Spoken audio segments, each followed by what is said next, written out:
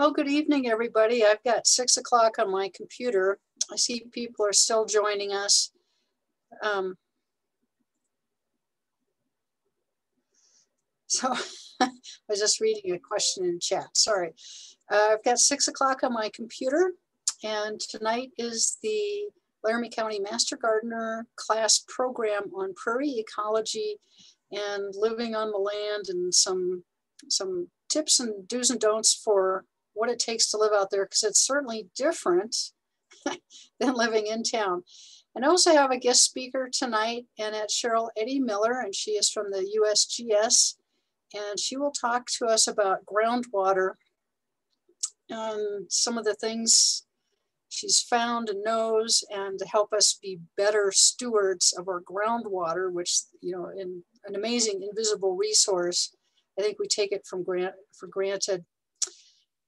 Um, so I'm going to turn it over to Cheryl and have her um, teach for the for the first 30, 45 minutes.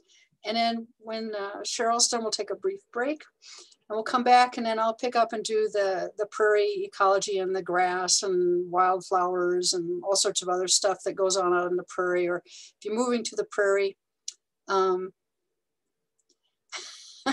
this is a good a good beginner introduction to to living out there. So with that, Cheryl, I'm going to turn it over to you, and it's all yours.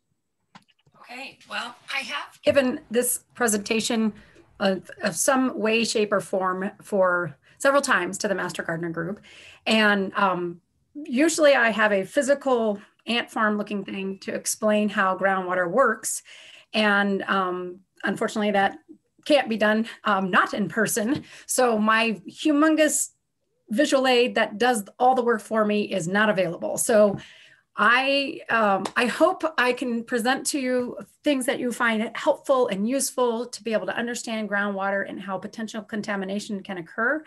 I did find a video that if I can figure out how to switch screens, will try to work. So um, I hope you can find this beneficial, but I um, have to bear with me a minute. I'm not a, a Zoom user, I'm a Teams user. So I'll have to be clicking through things. But if anything is glitching, by all means, let me know because um, while I'm on Teams calls all day long, I don't present on it very much. So let me know if something glitches. Okay, we'll keep you um, informed. Okay, well with that, I'll start uh, a few slides I have. And I, I have a few, but I click through them pretty quickly because I don't trust them zooming in on me. So I just make a whole bunch of slides. So let me see if I can share the screen. And then we'll start this as a slideshow. So far, so good. Yep. Okay, so going with the flow, how water and chemicals move in the ground. So the four things I kind of wanted to touch on tonight, and while it seems like it might be a lot, it really is they tie together pretty well, is to look at the groundwater and the model that I found online that hope we can watch it move through there. Um, talk a little bit about a statewide pesticide sampling program that I've been involved with for about 25 years, looking at both groundwater and surface water. I felt this was useful to give you all perspective on what the state of our water is within the state and how pesticides play a role in that. Look at how groundwater contamination happens and the movement of groundwater and then have a few Laramie County specifics included in there. So that's those are the things I plan to speak about. So the first part is something you probably all remember from third grade of the hydrologic cycle of uh, water moving through, through our atmosphere into precipitation and surface water and running off into the oceans. And that obviously occurs, but a really hidden part of it is the fact that groundwater is a key role. This is a cutoff on the side. And when rain falls on the ground, if it doesn't make a puddle or run off into the lakes or the rivers, then it infiltrates into the groundwater and discharges either from springs where there's maybe a depression, or if you drill a well in the ground, then that's when you can capture groundwater for your own use. So that's orienting you to the hydrologic cycle, starting you out on the third grade refresher. So here's we're gonna see if I can make this one work. Um, can you still see my screen now? Yep. All right, oops, pause. All right, I'm gonna turn this up really loud. and maybe move this to the center and zoom it up a little. Let's see if we can make this work. Okay, so this is similar to what I have. Oops, I went too far. Physically. And he's going to give his own little discussion about what he's showing in this video. But I think this is going to be, this is as good as I can get. ground truth your calculations, sometimes even with real ground. This model is designed to do just that. It simulates the flow of groundwater around an obstruction to illustrate the morphology and velocity of the flow. It's made of quarter inch acrylic sheets cut to size on the table saw. Solvent welding is used to connect the acrylic sheets into a narrow box. All of the plumbing is composed of aquarium bulkhead fittings and clear nylon tubing. Everything was leak tested before the sand was added. Here's how it works. Potassium permanganate is added to three spots in the top of the sand. A pump in a bucket below keeps a constant head pressure on one side of the model. The differential between the water level in both sides is what drives the water to flow from one side to the other. Groundwater flowing through the sand creates traces of the flow lines over the course of several hours, illustrating exactly what we estimated earlier with the flow net. The flow of groundwater hasn't always been so well understood. In fact, for some states, regulation of the pumping of groundwater is established on explicit ignorance of its behavior. In a landmark case which cemented the rule of capture into Texas water law in 1904, the court said that groundwater movements are so secret, occult, and concealed that regulating the use of groundwater would be practically impossible. Fortunately, geotechnical engineers since then have a foundation of knowledge around the flow of water in the subsurface. Okay, I'm going to back this up a second so and explain one thing that we're looking at and, and talk a little bit about it. Is that we can get to the right spot. So right here, you can see that water on the right side of this tank is higher, has a higher head than the water on the left side. Groundwater flows for the same reasons that surface water flows. It's just gravity. So gravity will pull this, push the water through here, obviously, and make it go up on the other side. Even without this piece of plastic in here, the flow paths will look similar. So on the model I have, I use this as a side and sometimes we get the groundwater level high and pretend this is a river.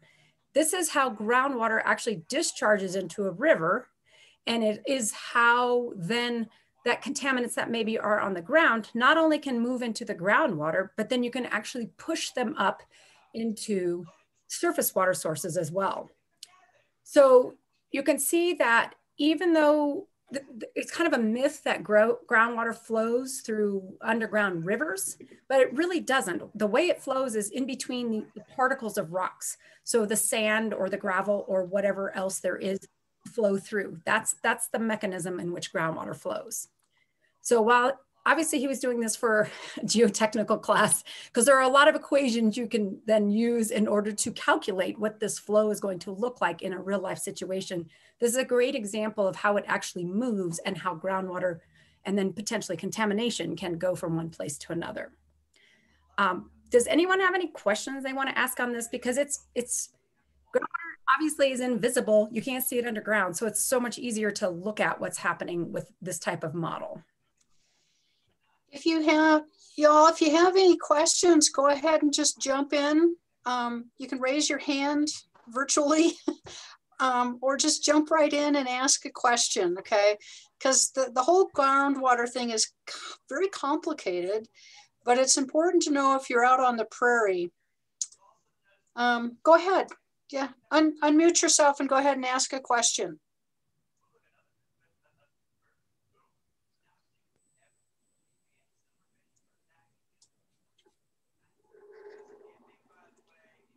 Or, or type it in to chat.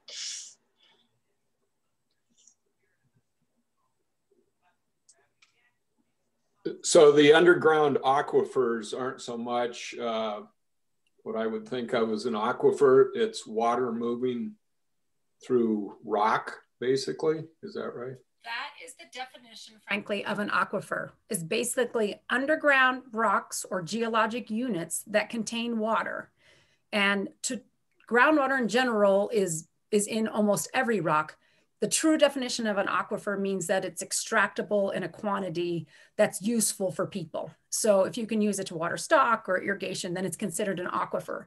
But all almost all it's really really rare to have any sort of rock material or any any underground material that does not contain water in it how easy it is to get out is the whole other story but almost everything has water underground so are some of the spaces between the rocks quite large then i assume. So when you dig a well it's sitting like in a pool which would be a or not?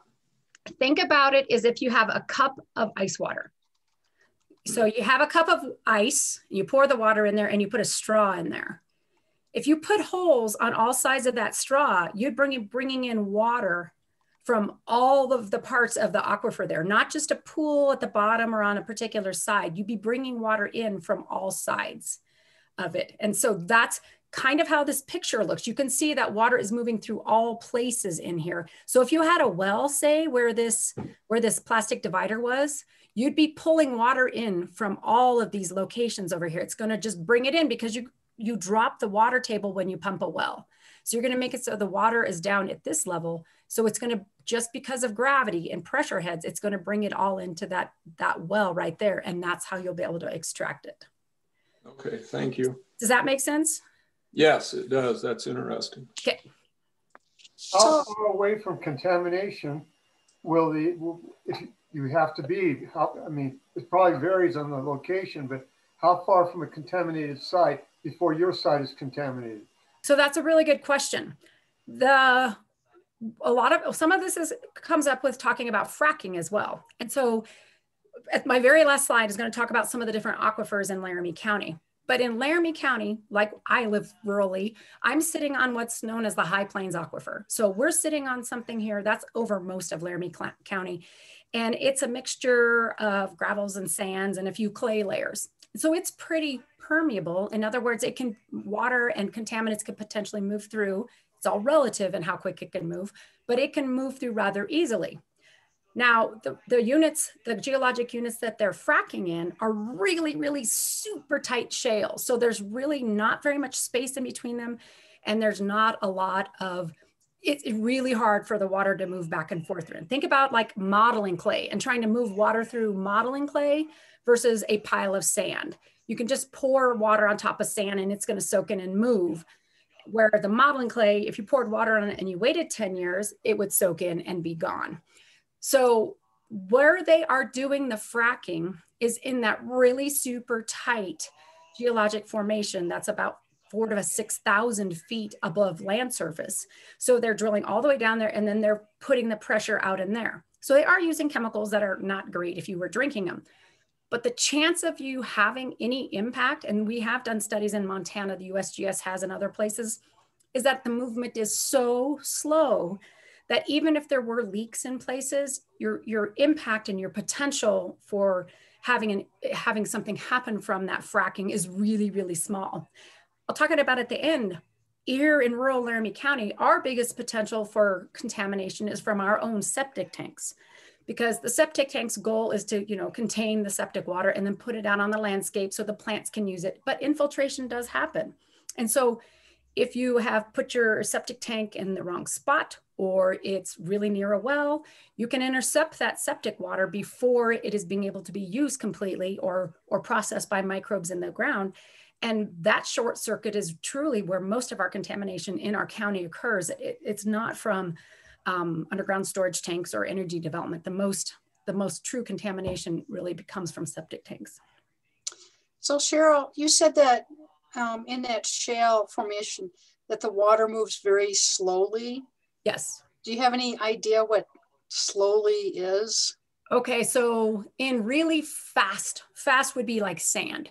You could probably move like it with because it depends on pressure. Just like in this picture, it depends on pressure in that um, if, if you have a huge amount of pressure head, things will move faster regardless of what your material are. Where if you have very little gradient to make it move, that's a different. But in say sand with the same amount of pressure of something that might take a week, it could take decades or even longer in those shales because they are so tight that it's really difficult for things to move through for that same like foot distance type of thing.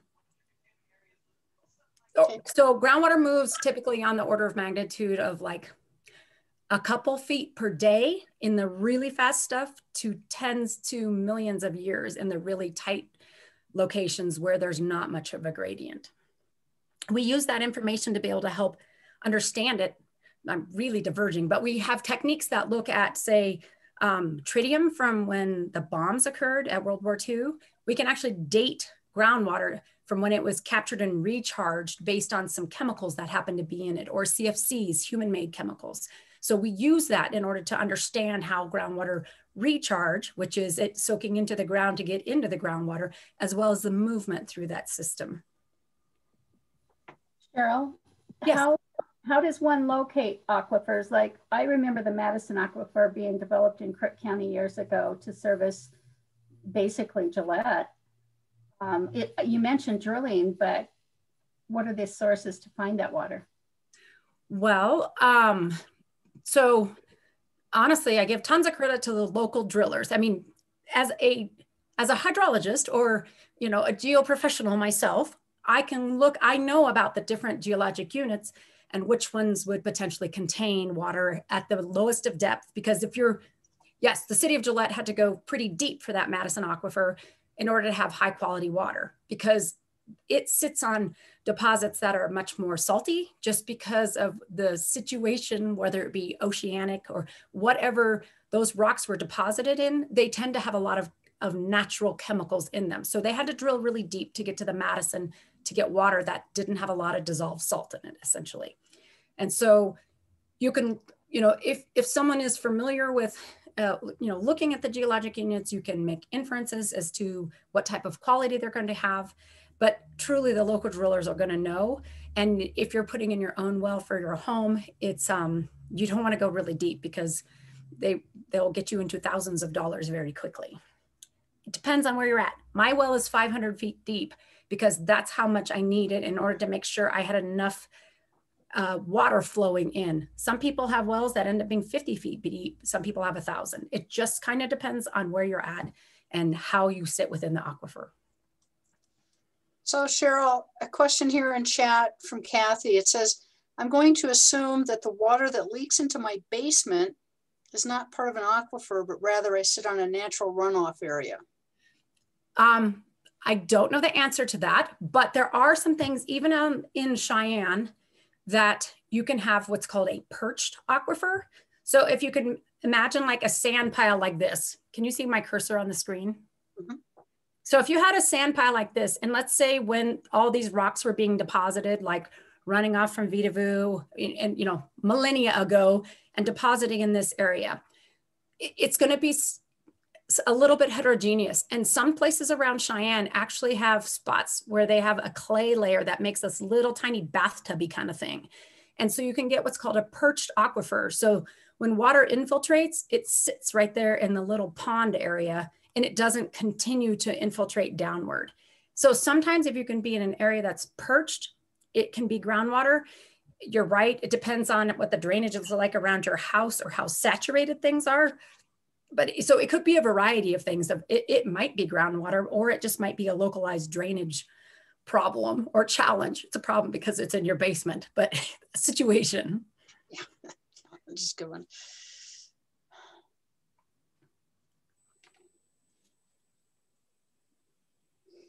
All right. Were there any other questions in the chat, Catherine? I'm not. Oh, no, that's, I think we got temporarily answered some questions here. Okay, well, that's great. And I can come back to any of these at any time.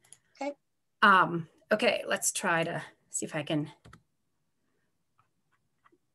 Okay, so I, I, I don't mean to breeze through these so you don't understand them, but I just, I just wanted to kind of give you ideas to foster thoughts. And if you have questions, I'm happy to answer them. So how, we talked a little bit about how um, contaminants. And like I mentioned, I've worked with pesticides for a long time. How does that get into the groundwater? Well, here's our hydrologic cycle again of all the different ways that that pesticides move through the hydrologic cycle. So we have issues it, with things seeping in. We have recharge from streams because it can go the other way. That streams, especially when they're high, they recharge the groundwater. That's part of the groundwater surface water system around rivers. Um, so all these different ways are how pesticides in particular can get into the hydrologic cycle and then how they can end up in groundwater. Um, so this is a super brief overview of 25 years of pesticide data that we've collected in the state.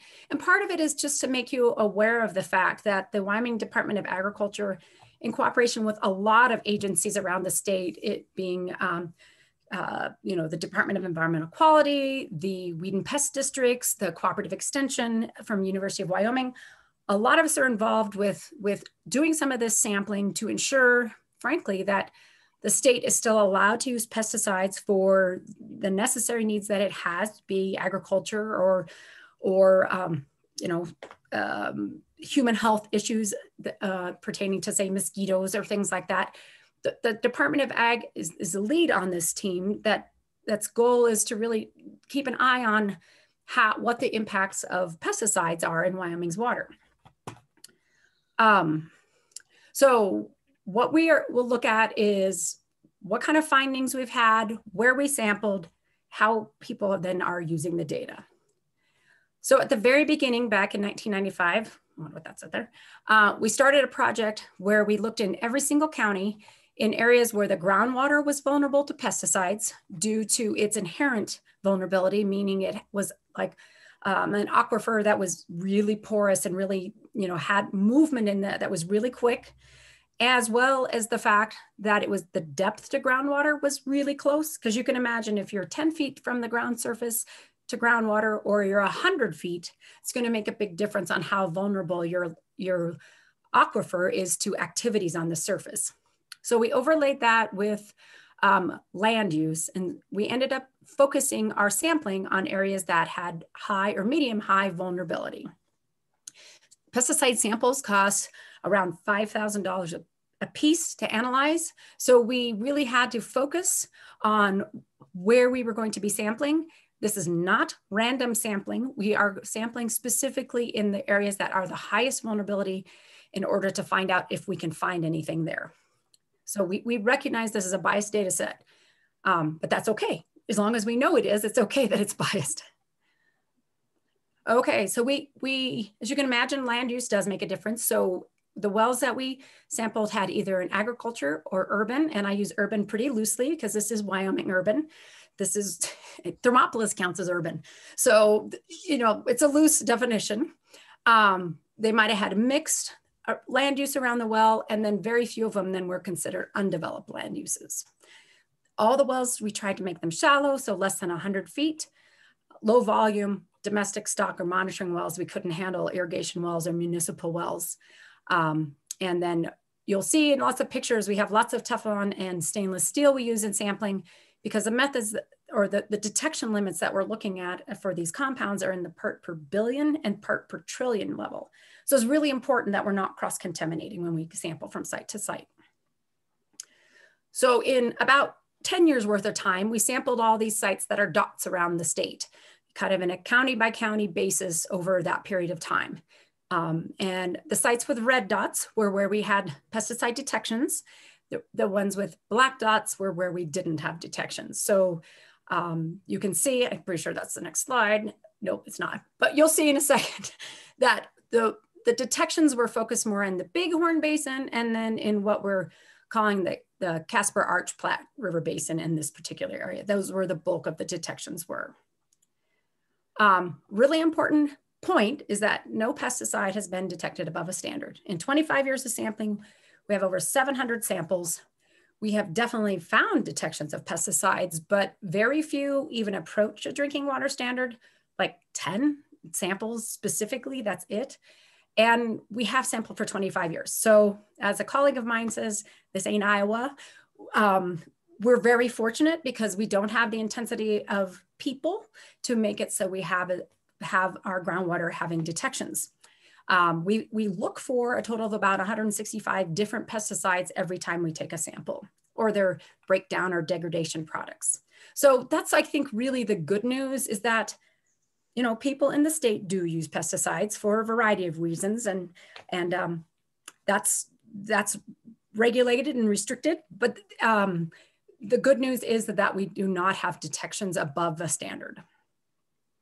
So what kinds of pesticides are we looking for? We're looking for um, herbicides are about half of what's the of those 165.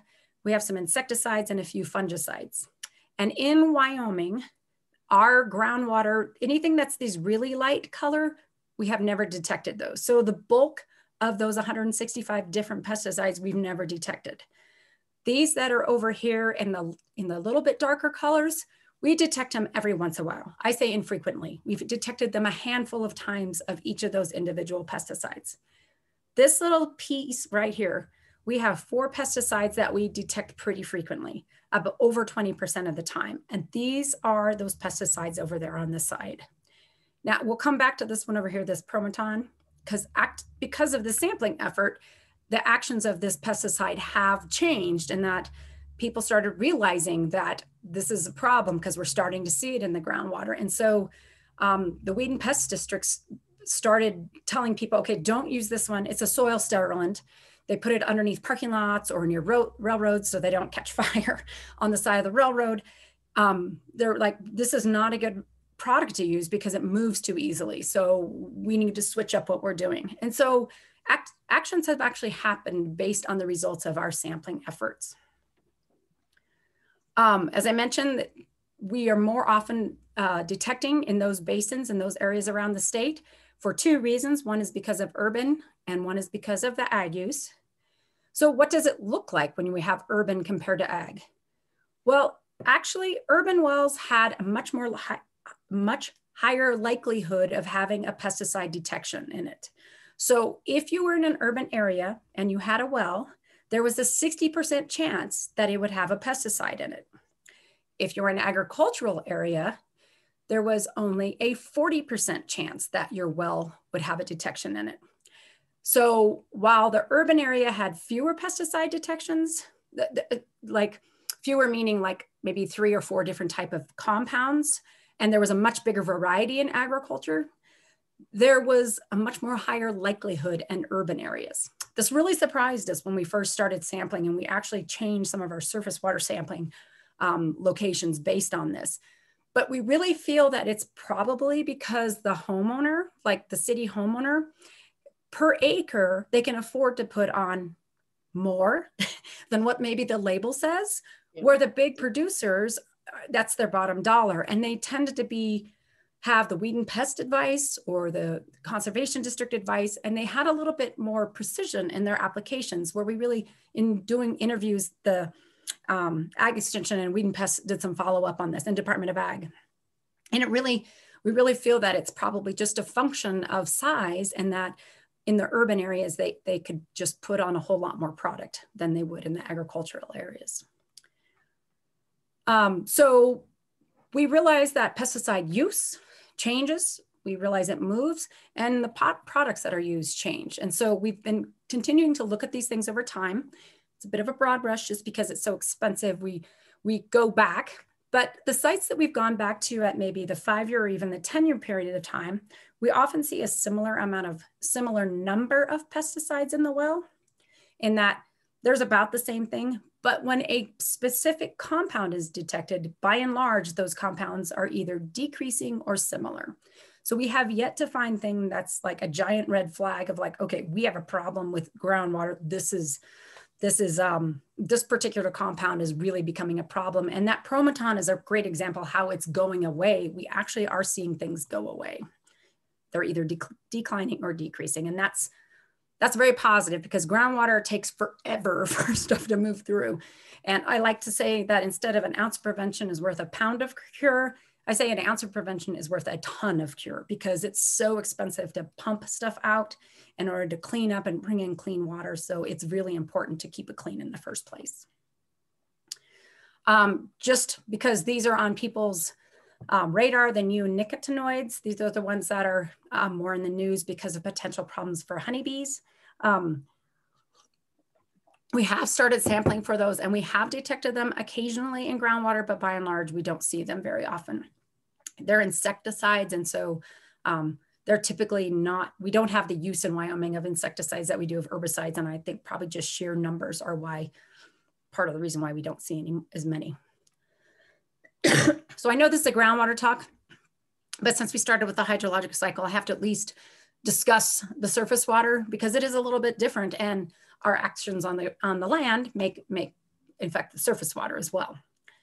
So surface water, because groundwater moves really slowly. So you can sample a well and sample it two years later and it's probably not that different, where obviously surface water is going to be very different. A month later, two months later, it'll be very different. So our sampling protocol still is, is about once a year. And we recognize it's just a snapshot. It's a really much shorter period of time, but it gives us some idea of what we're seeing. This, this measles, I don't know how to make this not look like the poor map has measles, but the whole point is just to say what's out there. Is, is it, it is, um, is it detected? Is it seasonally detected? And then we also added glyphosate, which is Roundup to our schedules. Um, we added that about a decade ago because of the occurrence of Roundup ready crops that were um, genetically modified seeds um, by Monsanto, I believe, so that glyphosate could be used broad spread on the field and not affect that particular crop. I, I believe it's primarily a soybean seed, but it, there may be seed treatments for, there may be seeds that are also genetically modified for other things as well. Anyway, Roundup became, and, and glyphosate became a really common pesticide uh, about 10 years ago. Um, so what are the findings for surface water? We've had over 100 samples. We don't have quite the breadth. 33 sites. Again, even in times where you expected higher concentrations of pesticides because you're, excuse me, lower flows or post application, we still have not seen pesticide above our drinking water standard. So that's the positive takeaway. excuse me. So what do we see in there? About the same that we see of all the things we're sampling for, we just have these four. They're a little bit different, but we just kind of have these four that are detected regularly, frequently, more than 20% of the time. That's actually not that frequent, but the rest of them are just a couple times. Okay, Cheryl? Yes. Yep, we got a question. So Sure. April, do you want to go ahead and unmute yourself and ask? Yeah, um, you mentioned the drinking water standard a couple times, and I'm wondering where that comes from, who creates the standard? Good question. That is in Wyoming, EPA has primacy over drinking water, meaning that they're they're the ones who have the standards. And so EPA is the one who has developed the standards. They do a lot of tests on, um, uh, there's a lot of math that goes into it.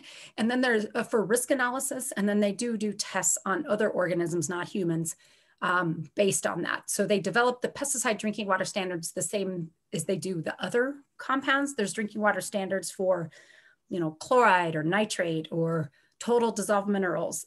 There's standards for most things, um, but EPA is whose, whose standard that is. Um, as with the groundwater, uh, we most often detect them in the Bighorn or the High Plains North Platte Basin. Again, there's the most activity by people in there, whether it be ag or urban in those two basins.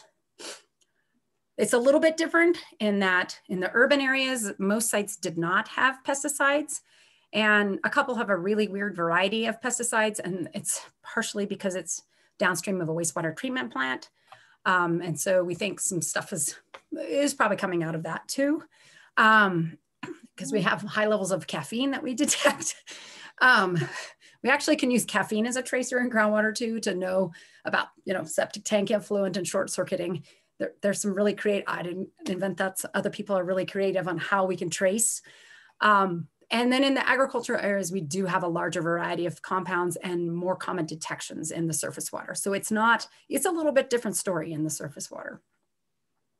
Um, but the good news is, is that uh, when we go back to the same sites, the concentrations tend to be the same or even decreasing year to year, even though we're detecting it, I mean, sampling at different times of the year.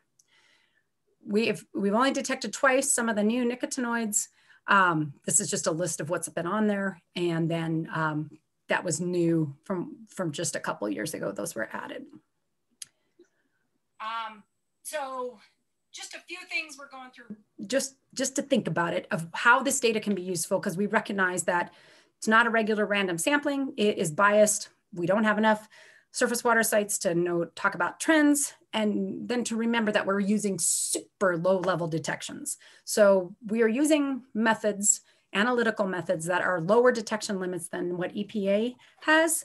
But the good thing about that is that it can be early detection so we can know something is there before it gets above a drinking water standard but it does again bias your data because if you were you know let's say our detection limits can detect it at one and epas are at 10 and we have a whole bunch of things at six. Well we're like there's tons out there because it's at six and our detection limit at one says it's there. But if you were at 10 you wouldn't see anything. So we recognize that our data set is going to have more detections than if you'd used a different method. Um, so why do these things look so different in the groundwater versus surface water? We, touched on, a little bit that the flow rates are different. Um, in the groundwater, I mean, the surface water, it's gonna go off and get there, where groundwater, it has to travel through the groundwater. And one of the key things, and I'm gonna, I know I'm jumping ahead of myself because it's a slide later, but I'm gonna say it anyway. One of the key things is that when they design pesticides you don't want these pesticides to go into the groundwater. You want them to stay in this on the plant or in that soil area.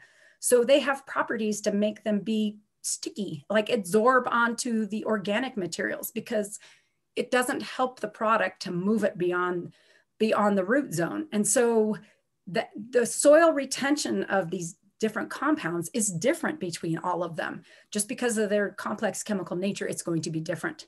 The other thing is, is pesticides degrade. They're a really big, giant organic molecule. And when they get just time or when they get UV on them, they're going to break apart and degrade. So, and they do that all differently as well. So there's a whole lot of differences on why we see things in groundwater versus surface water. This, this is data from UW Cooperative Extension. Um, Jeff Edwards put this together looking at what is sold in our state in 2019. And by, and by far, the most commonly sold pesticide is glyphosate, is Roundup. And so you can see here some of these other names, which I know they're horrible. I have to try to pronounce them and pretend I know what they are. Um, but they, they, you can see that all of these are um, herbicides and they far outweigh insecticides being sold. And this glyphosate is, is the one that's the highest. Hey, Cheryl. Uh, yeah. When Jeff put that together, did he differentiate between urban or agricultural use? He just overall sales? It's just overall sales. Okay. But you're right, it is an urban comp it is an urban product as well. I mean, you can go buy Roundup in Walmart. So yep. um, that, that's a good question. Actually, I'm gonna write this down um, because that would be a good question to know of like what percentage he suspects comes from which source. And he may have the data. Okay, pardon a second. okay. Well, I know that you can buy almost, you can buy most of these, the glyphosate 2,4-D, dicambion, mm -hmm. um, from, you can go to Murdoch's and pick that up. The picloram and atrazine, paraquat, those are all agricultural use along with MCPA, um, Bromacil, fluoroxypyrin, and yeah, yeah. the other one. So most of those are agricultural, but the first three are uh, anyone can buy those. Homeowner. Yep. So that's a really good question. I, uh, yeah, I'll I'll ask and I'll I'll know that because I'm actually writing a report right now about you know the 25 years worth of data and and being able to compare it because it's if you write it about what you found i'm like okay well that's cool but if you have data about what's being sold then it gives you some reference to are we detecting it or not? What, what what's being sold is that particular chemical showing up in the groundwater? Or right. is it a historical compound? I mean, to be able to understand that is, is part of what we're looking at doing. Yeah, it puts it into better context of who is using it. Mm-hmm. Where is it? Where is it originating from? Yep. So I'm guessing, and this is a total guess, I'm guessing that the bulk of the glyphosate is now agricultural because of those Roundup Ready crops, but um, that's a total guess. But um, those numbers are just so high.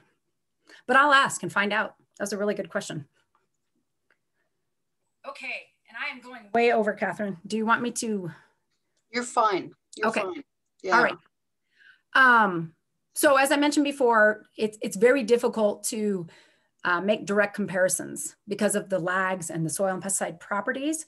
Um, I already talked about prometon.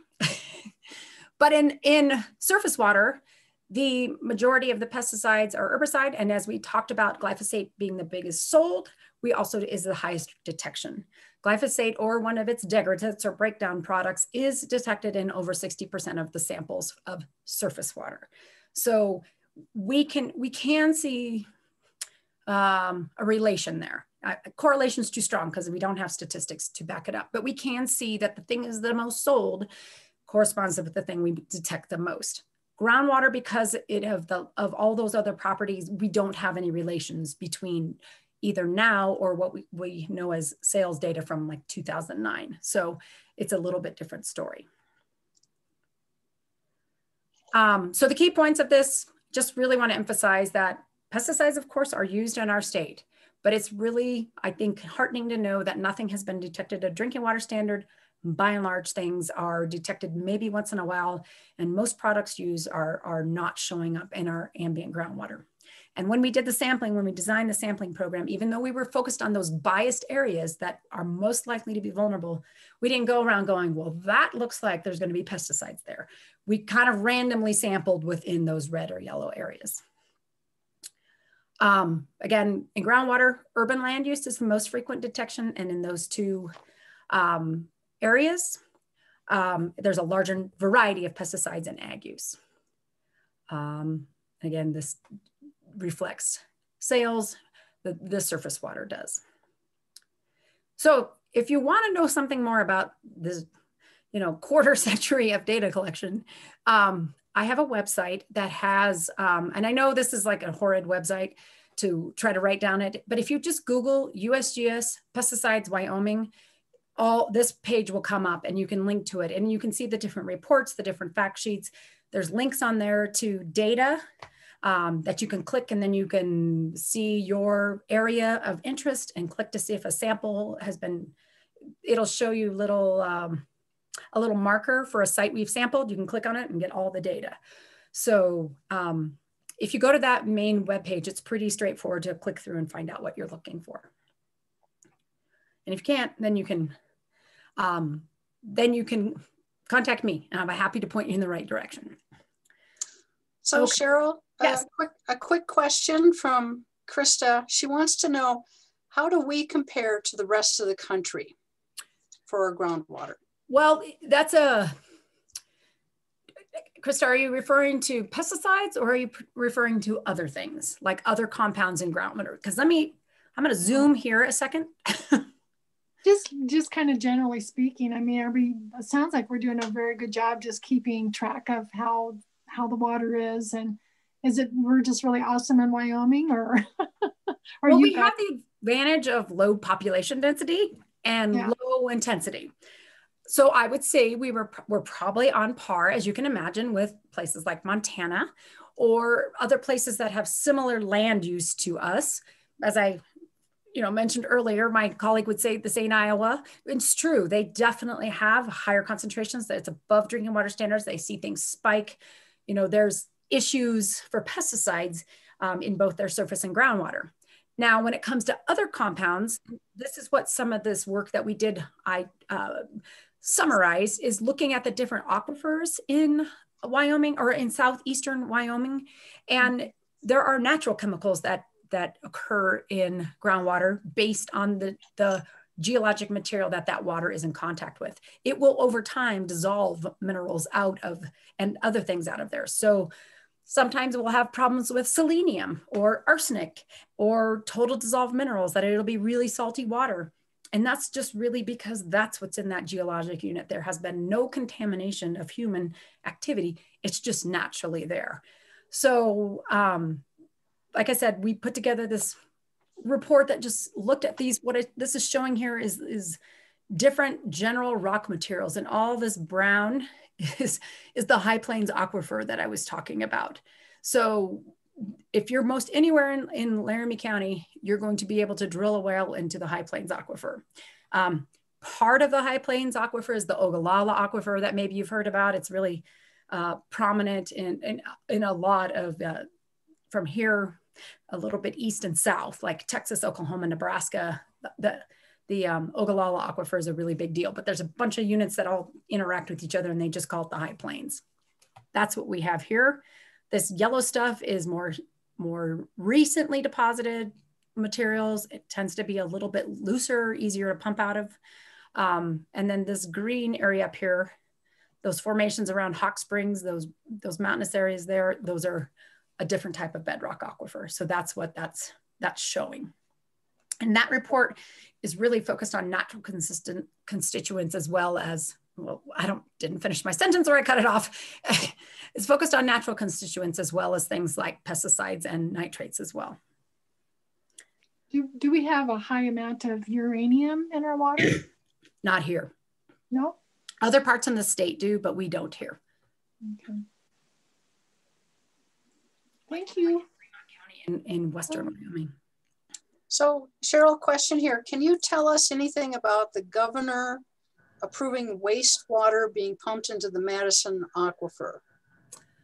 I honestly don't know about that. Um, so other than depends on where it's being pumped and depends on how it's being handled because I really do think there's nothing that's outright good or outright bad.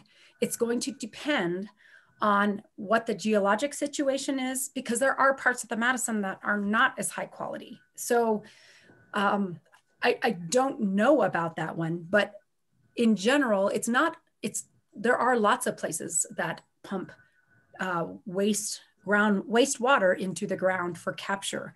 Um, I'm pretty sure Coastal Chemical, that's not who they're called anymore, does that out there, but they're putting it thousands of feet underground. It's got to go somewhere. That's how they're disposing of it. So it's a gray area. There's no good or bad answer. And I don't know enough about the discussion you're talking about really to have any educated opinion. okay. Um, so the good news, everybody, is that Wyoming is a headwater state. So the water originates here. So we're, we're the first users of this water. And then everyone else who's downstream from us, well, they're downstream. So the good news is we're first in line and we have some of the best water in the United States. And Montana, Idaho, parts of Washington, um, part, northern parts of California also have good water, but it's it's a good thing to be a headwater state. And Definitely is. The groundwater thing is complicated. So Cheryl, what else? Well, so for Laramie County, I wanted to mention that again, most compounds are below a drinking water standard, but not all. And you have to remember these are compounds that are naturally in the system as well. Um, the most common chemical above a drinking water standard was nitrate. And that would be a function of um, a lot of times septic systems that are not working properly, um, that have not been pumped in a million years, or, you know, feeding operations, things like that. Nitrate's the most common one that occurs. It's a compound that causes um, blue baby syndrome and that in your bloodstream, uh, the nitrate molecule will will make reactions happen so your blood cannot carry as much oxygen. So it's not as a carcinogen, but it is a health hazard. Um, and frankly, if you've got nitrate in there, there's a decent chance you've got other things as well if it's coming from a septic tank and things like that. Um, the other part is that we mentioned the aquifer source material is a really big influence on the concentrations of those natural chemicals. And that's when you need to talk to your local well driller about where what the best aim for how deep you want to go is so that you can shoot for the best quality water and then you don't have to post treat afterwards. So I think that's the bulk of what what I was we, we diverged a few places here and there, but that was definitely the bulk of what I wanted, I thought would be interesting to cover. Well, I sure, I sure appreciate you taking time out of your evening to come talk to us. And um, for everybody watching, um, Cheryl's been teaching off and on for me for groundwater for um, 15 years. and, the groundwater model is just amazing. And then I had her teach for the advanced master gardeners, and we all they all got to be well drillers, and that was a lot of fun. so so there's some great stuff that um, that we do, and I sure appreciate your time again. For You're very uh, welcome. I'm happy to be able to, you know, spread the word about a very mysterious, mysterious water source. So you can't see it, Cheryl. it's hard to know. Yeah. Thank you, Cheryl. All right. You're very welcome. Thank you. All right. So let's take a five minute break. We'll come back and we'll talk about the stuff that grows on the surface. so Cheryl, thank you. All right. Thank you. Bye-bye.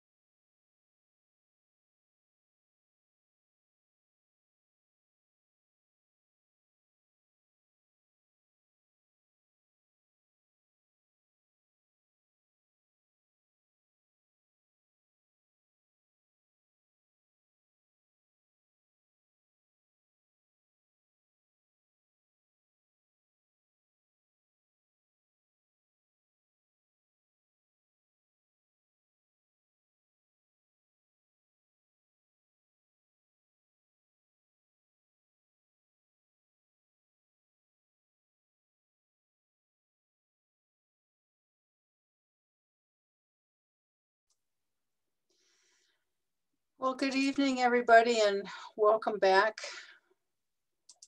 And again, you can go ahead and turn your video on and so we can see everybody. And I'm going to share my screen here. We'll start with the prairie, uh, living on the prairie, prairie ecology uh, class.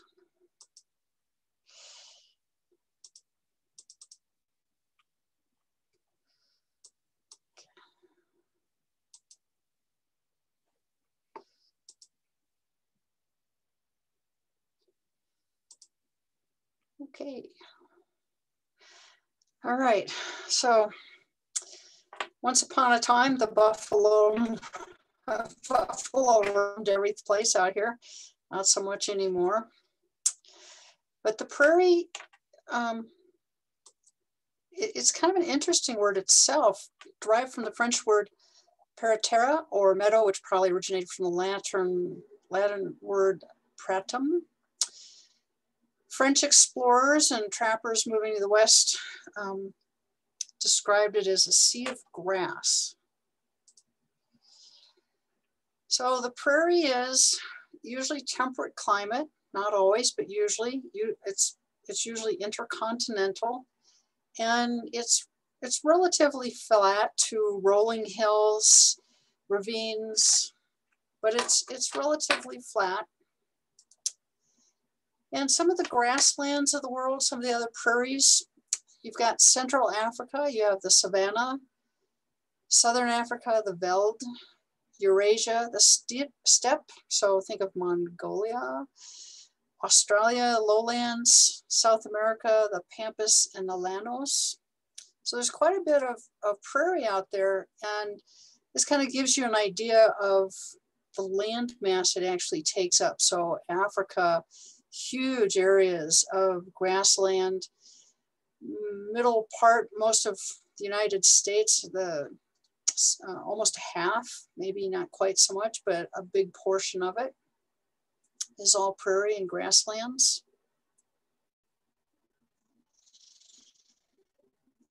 So how was the Western, Midwestern prairie created? Uh, again, it was a rain shadow. And so we talked about rain shadows in in the uh, site analysis class with my rain shadow model. And, and so it was just, it was just droughty. It was just dry. The, the rain skipped over the prairie and it still does to this day. It just goes over the top of us. And drought persists. Um, plants have to become tolerant or, or they just, uh, they just go away. So they've, they've learned to tolerate drought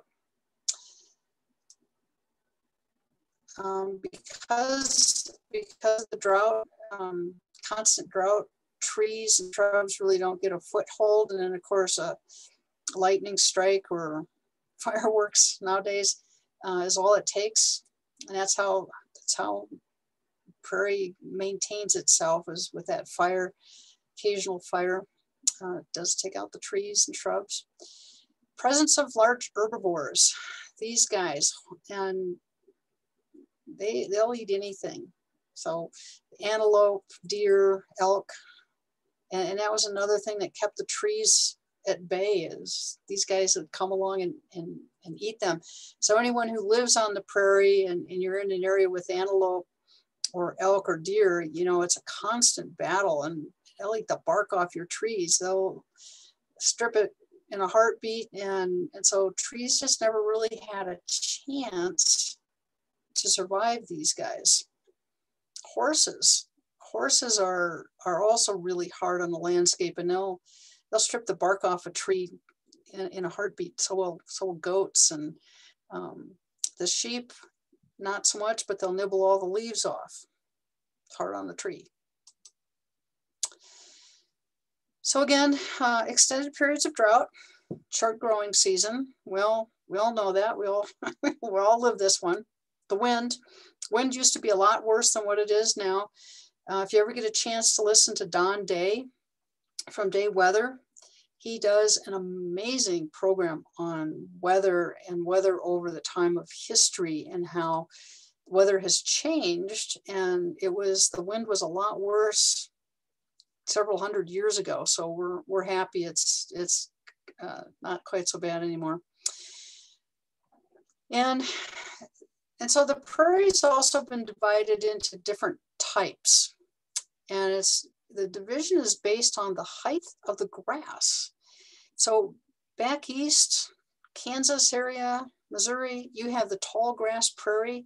And if you've ever been through a tall grass prairie, it's it's amazing. It's six feet tall. You disappear in it. Um, then you go up towards the mixed grass or mid grass, and so that's shorter. Shorter being like four feet tall. So it's it's a little bit less, but it's um, got a little bit height in it, a little bit low growing grasses. And then you have the short grass prairie, and that really describes us and our prairie. So you'll find grass anywhere from two inches tall to 18 inches. A really, really good year, you might see the grass get up to about two feet in height. And, and at two feet in height really is the, the seed head that has sprung up and gone above the leaf blades. And so the grass blades themselves never get very tall. Maybe on your cool season grasses, you're going to see a foot on a good year, but it's that seed head that makes that appearance that it's taller. And then also it's broken down again by soil type. So Nebraska, the sandhills of Nebraska, that's, that's a very well-known area of uh, both water and the water filtration rate is phenomenal. Um, the pothole region of Nebraska is incorporated into the sandhills. And then you've got the black land prairie of, of East Texas. So this is what it looks like on a map. And you can see we're number three here. And yep, there we go. So it ranges quite a ways. It goes up into, into Canada and all the way down into New Mexico, parts of Texas. So it's quite a huge range for this short grass prairie that we're on.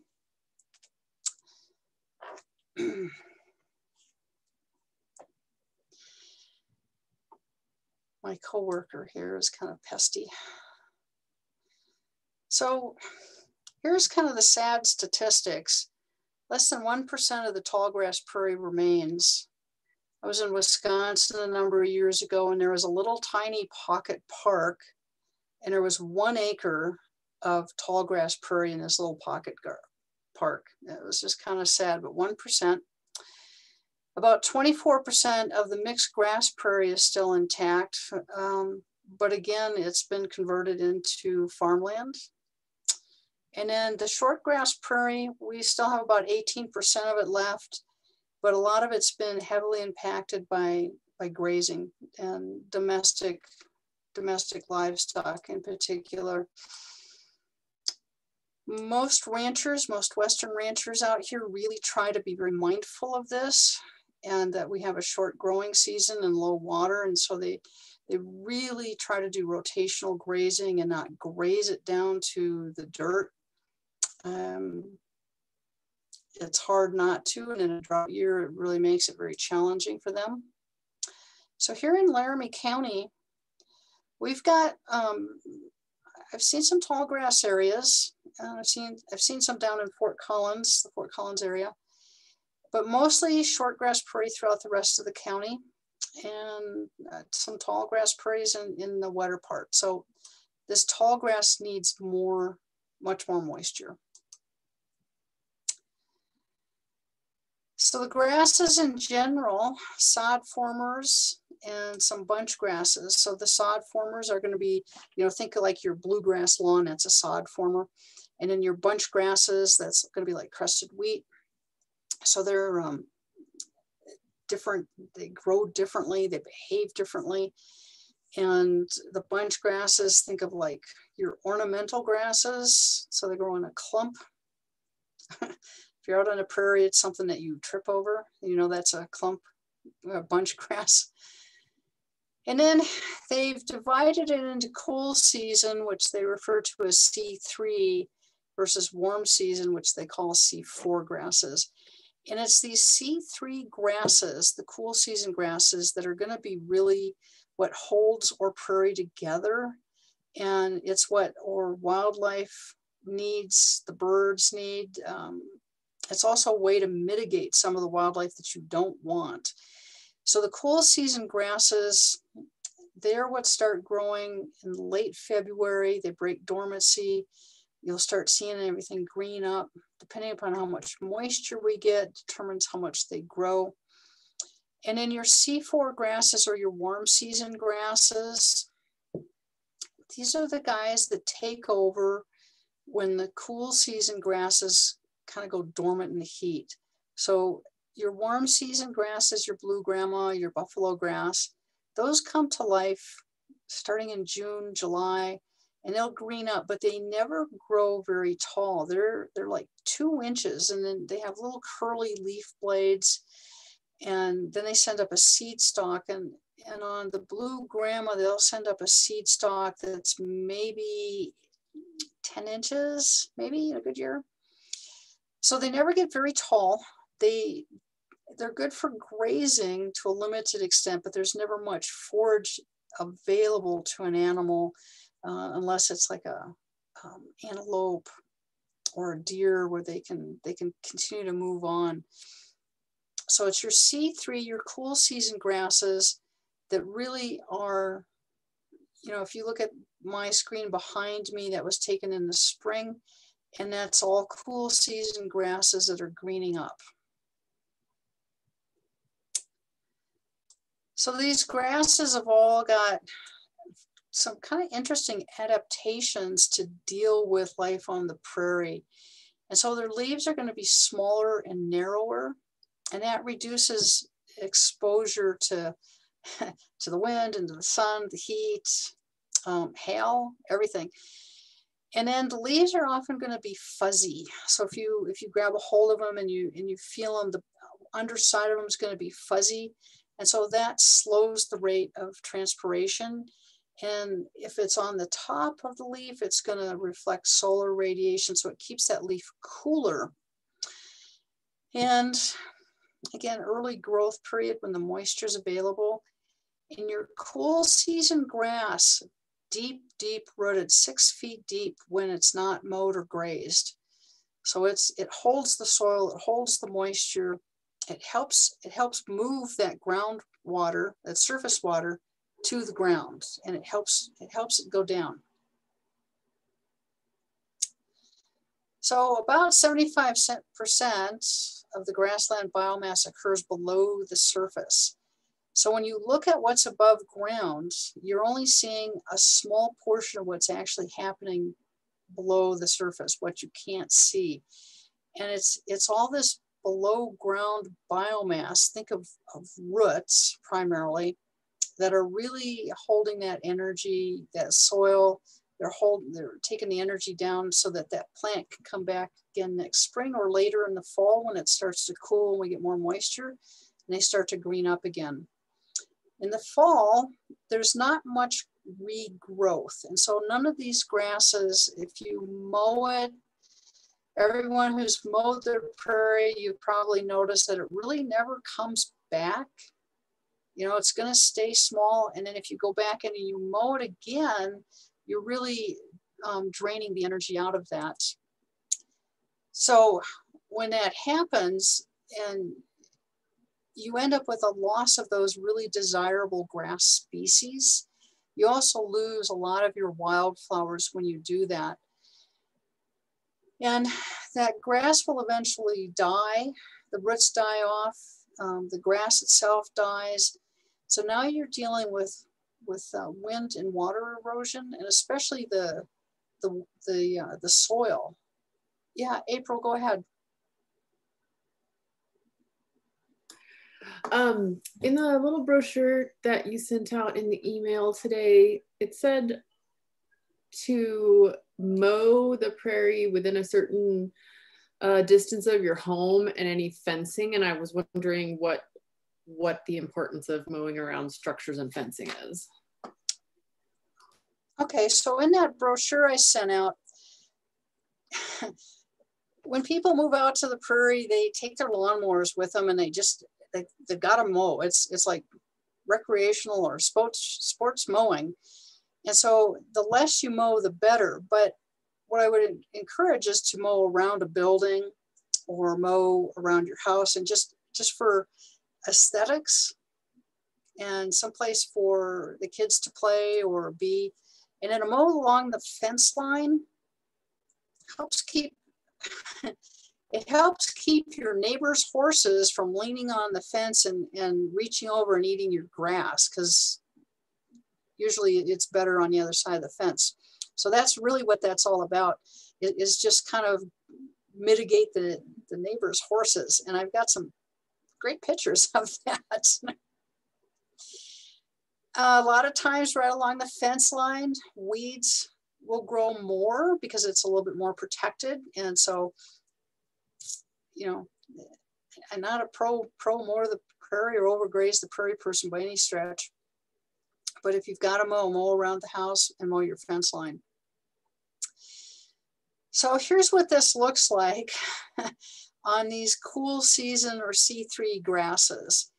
And again, this, this root mass area will go down six feet, six feet deep, holds the soil, holds the moisture, this area is going to stay green. The grass falls, you know, in the winter, in the spring, the grass will fall over. It covers the ground, it acts as a ground cover. And that helps keep the soil moist also. Um, yes. Um, okay, how come I don't see a prairie section in the five pound book? I, I don't know. I've been trying to get that in there for years. It's it should be there. Uh, Wyoming is a very rural state, and we need to know how to take care of the prairie. And we can't assume that everybody lives in town or that in town people are going to stay in town because the lure of living on the land is huge. And and yes, I will recommend some seeds. Um, probably the best thing to do is I'll send an email out with my recommendations. But anyway, when you mow this grass, and, and these, these cool season grasses are your wheat grasses, um, your wild rye, and a whole bunch of other cool grass species that send down these huge deep roots in the, the winter and spring. They fall over they they cover the ground they act as a natural ground cover and natural protector of the soil. But when it's mowed or grazed you lose that ground cover because the wind just just scoops it out, blows it away.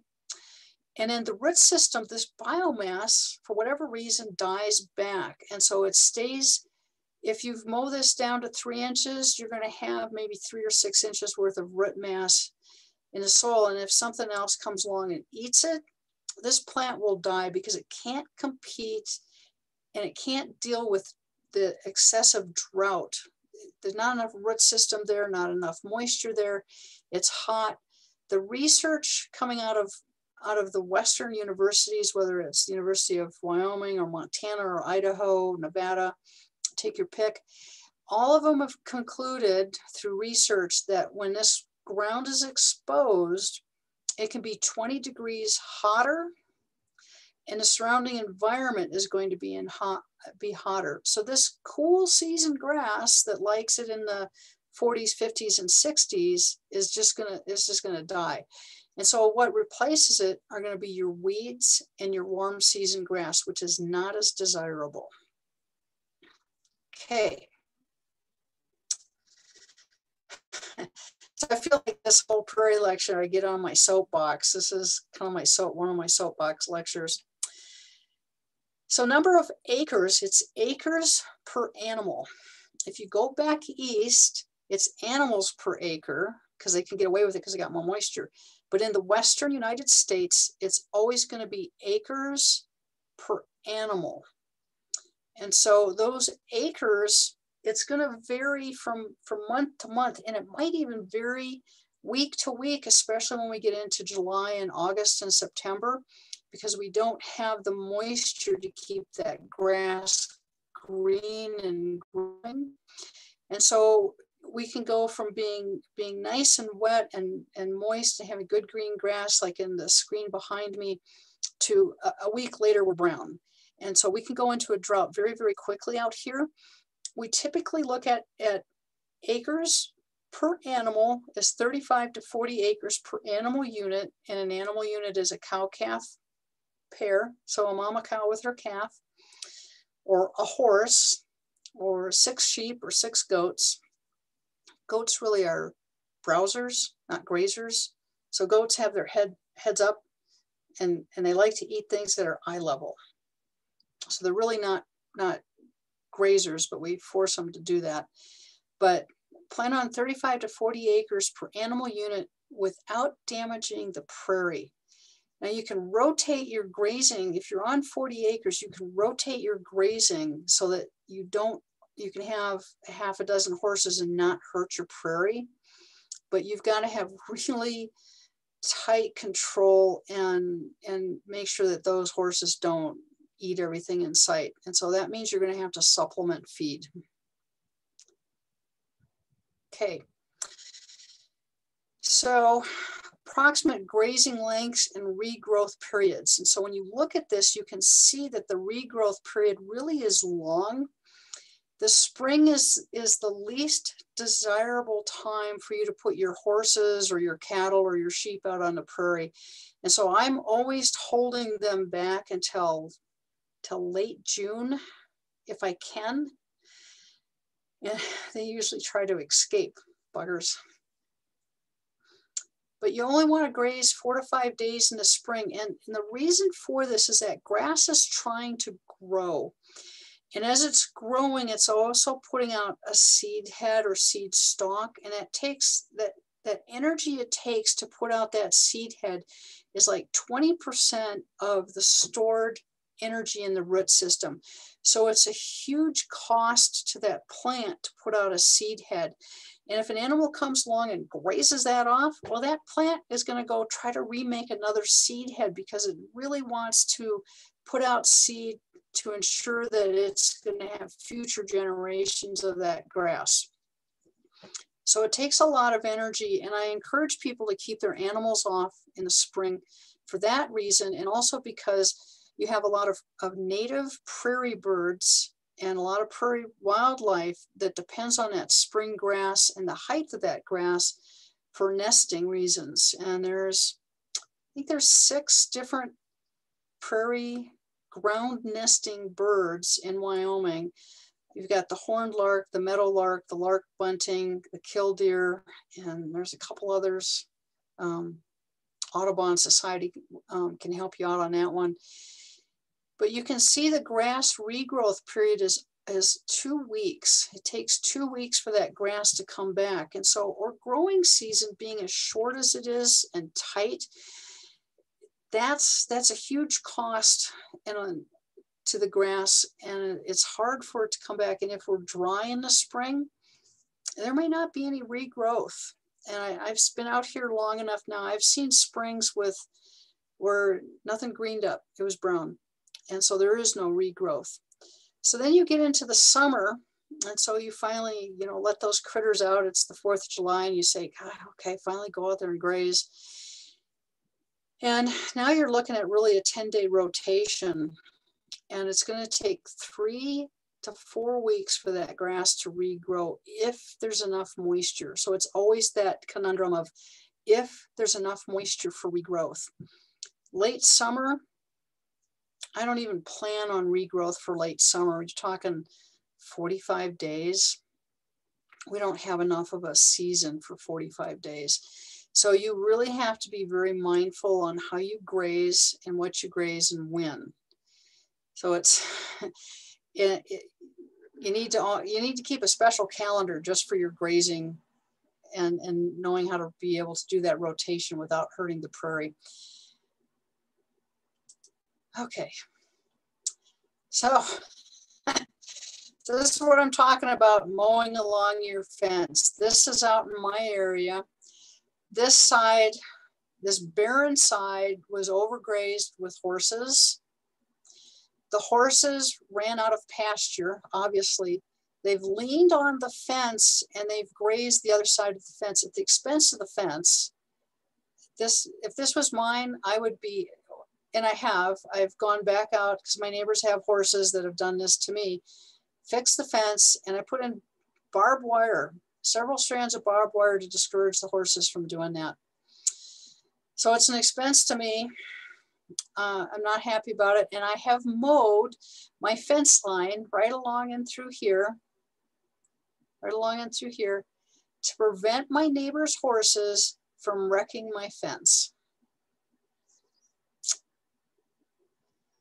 This has been, it's been five years since they pulled the horses off. It is, they haven't gone back in and re, the new owners haven't reseeded. They haven't done anything really.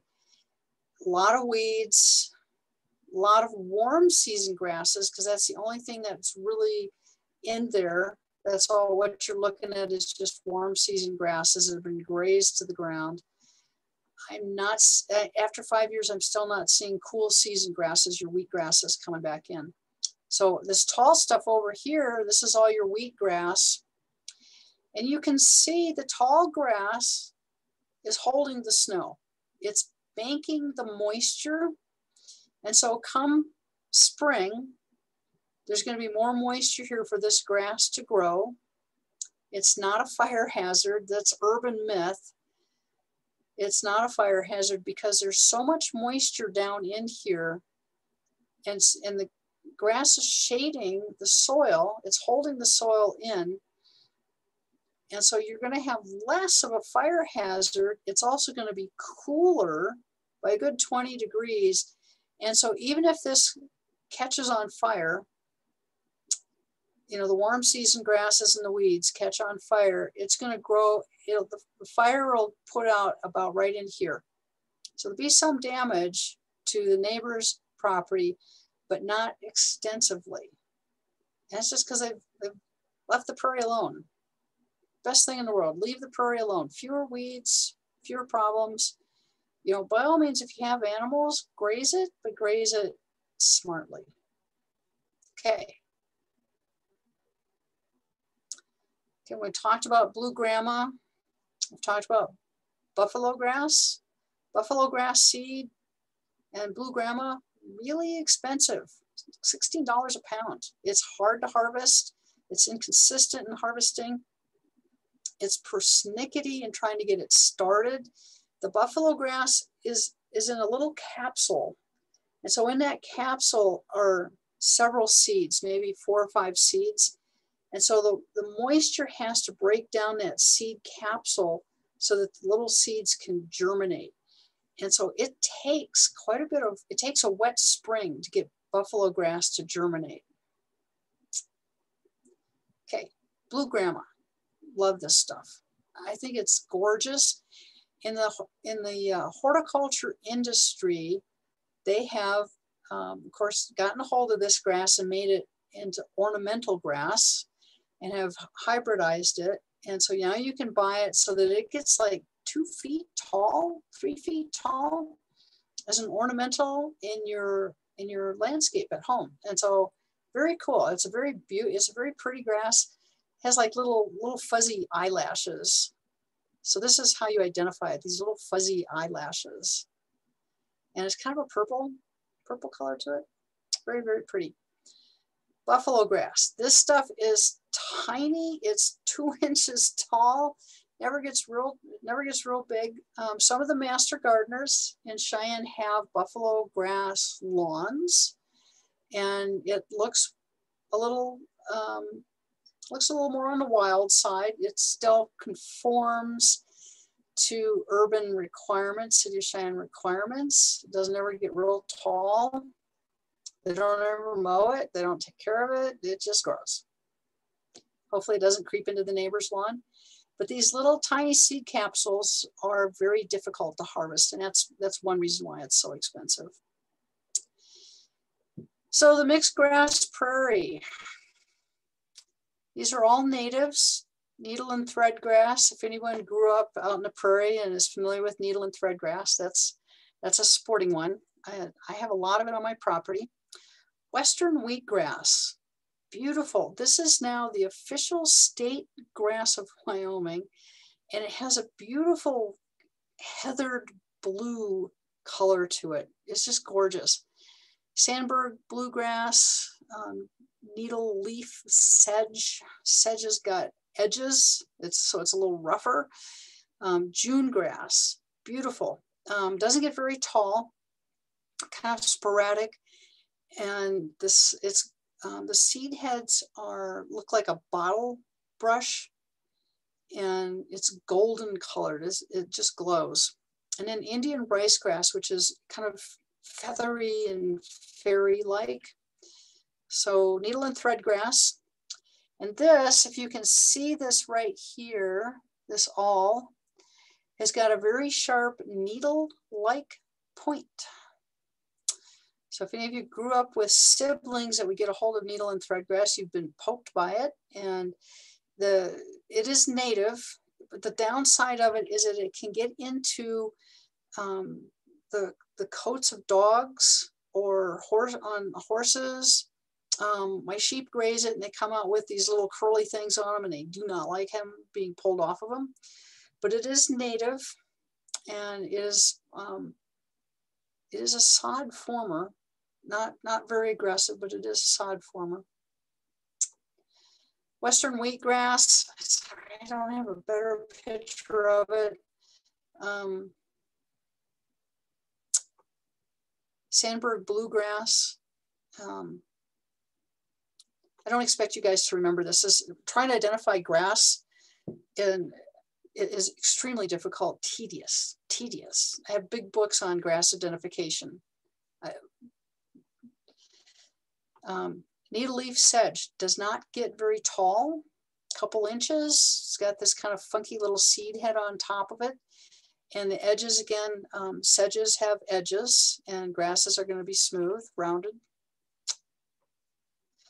Prairie June grass. These seed heads, uh, just, I've got a picture of it and I couldn't find it. And I just wanted to put that in tonight, a better picture of it. But it's, uh, these seed heads are, are just glow a golden color and they make a really nice, uh, in the landscape, in the urban landscape, they would be a nice addition. Indian rice grass. I, I just love this stuff. And for a while, there was a grower in Wyoming uh, who was growing this stuff and harvesting these little tiny seed heads and making a flour, an Indian rice grass flour. And I, very niche, tight niche market for that one. But again, a beautiful grass, worth planting in, in a perennial garden. Very pretty. Okay, water. Not going to talk a lot about water. Cheryl covered um, quite a bit of water is complicated. Water is very complicated. Um, we've got on, on my property here, we have um, well rights that go back to 1947. And then we've got surface water rights that go back to uh, territorial, pre-statehood territorial. And and I truly now understand the the old Western saying about, you know, whiskey's for drinking and water's for fighting. It's very true today. 100, 150 years later, it's still very true. So the water law in Wyoming, the state owns the water and it's got to be permitted. So whether you get a well or however you use it, it's got to be permitted. So if there's an irrigation ditch that runs through your property, it's not it's not your water. All you can do is watch it go by and all the water is appropriated. So, so the state owns that water until it gets to the end user. And then when it gets to the end user, it belongs to them. So it's, it, the water law is a little complicated. It's a little touchy, and first in first in rights, um, first in time, first in right. So the person with the oldest water rights wins. Uh, domestic groundwater, uh, domestic and stock water is limited to 25 gallons per minute. I've, I've seen wells where 25 gallons per minute would be a happy thing, but you get up higher into the foothills and 25 gallons per minute doesn't happen. Um, you can, um, according to the state law, you can irrigate an acre of, of land. I, am not sure what that would look like. I had there was someone out here in my area that dug up a big area of his prairie and put in a pond and got it permitted. So his dogs could go swim in it. that was crazy use of it. Um, commercial uses include greenhouses, businesses growing for market, an additional permit requirement. I don't think they charge anything for it, but water law. Uh, they, ha they have finally started to permit, um, issue permits for wells. They didn't, that was kind of a frontier. There was no permitting on the wells. They finally have done that. Um, so this was put in in November of 2004. 20 feet from a property line, 100 feet from a leach field. And proper construction can be important quality and quantity of water produced. So make sure you get a good well driller and ask them lots of questions. And, and by the way, for those of us who live out in the county and have a well, the only time your pump will go out, quit on you, is in a blizzard at Christmas. Been there.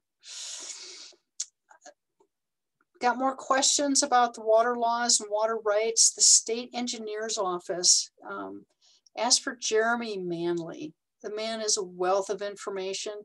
I've had him teach water for me in the past. He's kind of another energizer bunny of instructors. And once he gets going on, on water and water law and wells, he's he gets on his soapbox, but he's a wealth of information and worth talking to him if you've got questions about um, groundwater. Water testing, you can go to the city and county health department and have them look for um, bacterial coliforms. So you can do that twice a year. It's free. If you want to know what your water quality of your of the water is, that you're going to have to pay for. And you can take it down to CSU. They'll do that. Um, there's a lot of private labs that will also do that. And that's where you want to know what the nitrates and nitrites are in your water. You want to know what the um, hardness of the water is, the um, the EC, the salt level, very important, the pH, two very important things along with nitrates, nitrites. So you can you can get your water tested and find out all sorts of information about it. And then go to the state engineer's office if you have questions about how to mitigate some of the problems. Fencing. Here's another, another fun thing of living on the prairie is fencing. The Wyoming does have a fencing statute with minimum standards for constructing a fence. And it's it's pretty loose and you can I've I've actually found some concrete posts on my property and I put them back into the ground. Once they're in the ground, they're they're amazing posts for holding up a fence. But it depends on what you're what you're raising or grazing on your property really kind of determines your fencing. I have sheep, and so my fencing is looks different it, has got to be different because otherwise otherwise they they'd make their way into town and they'd be grazing your lilacs. So you got whatever you're trying to fence in make sure it's it's a proper fencing for fencing them in. Or if you're trying to fence your neighbor's horses out hot wire on the top of lots of barbed wire. And then there's a share cost of fencing and this is again a state statute. So if you put in a fence technically you can go to the other side, the other landowner, and, and try to recoup 50% of your costs. That's fun. Okay, dogs. I have four dogs. One of them is my livestock guardian dog, and so she stays 24 7 with the sheep and the cattle. And a lot of times people will come out to the prairie, they'll get a dog at the animal shelter and then let it loose. And I got to tell you, that's a nightmare because there is Wyoming state statutes again to protect livestock owners. And dogs running at large are considered a public nuisance. And, and this is subsection D is actually a little bit more involved than this. A, a dog that's harassing or hazing or a dog that injures or, or is killing livestock may be killed by the owner of the livestock or his agent or any peace officer. And so the last thing any of us want to do is have to try to find the owner of a dog and say, hey, keep them, keep them tied up. So keep this in mind. Um, domestic dogs, if they pack up there, that's a nightmare. That is an absolute, I have lost some sheep to domestic dogs. Okay, windbreaks. Today is a good example of, of a windbreak is a great thing to have. They increase the value of your property. Make sure that they're done right. Get with the conservation district, get a plan, have them put it in. It might cost a little bit more, but have them plant it for you. And it, it decreases your heating bill because it, it makes the wind go up and over. Captures snow. And so that capturing the snow, again, they're banking the snow, they're banking the moisture. And banking the moisture out here is just everything. Provides wildlife habitat. A lot of birds. I have foxes in mine. I have bunnies, which is why I have foxes. So, so they do provide a very important value back to your property. Okay, weeds. This is uh, here in Laramie County, and this is tumbleweeds and um, mustard, tumble mustard that is caught up in the fence. And there, if there's enough of this and we get a snowstorm, this is enough to pull this fence down. And then your livestock escapes. so weeds, very competitive and they grow well in spite of interference from other plants. They're very persistent they are survivalists. They spread seed very effectively. And most of them are annuals and they're going to return year after year. You're fighting them for a long time. Don't don't let them get the other hand upper hand because um, it gets expensive and difficult to try to fight them.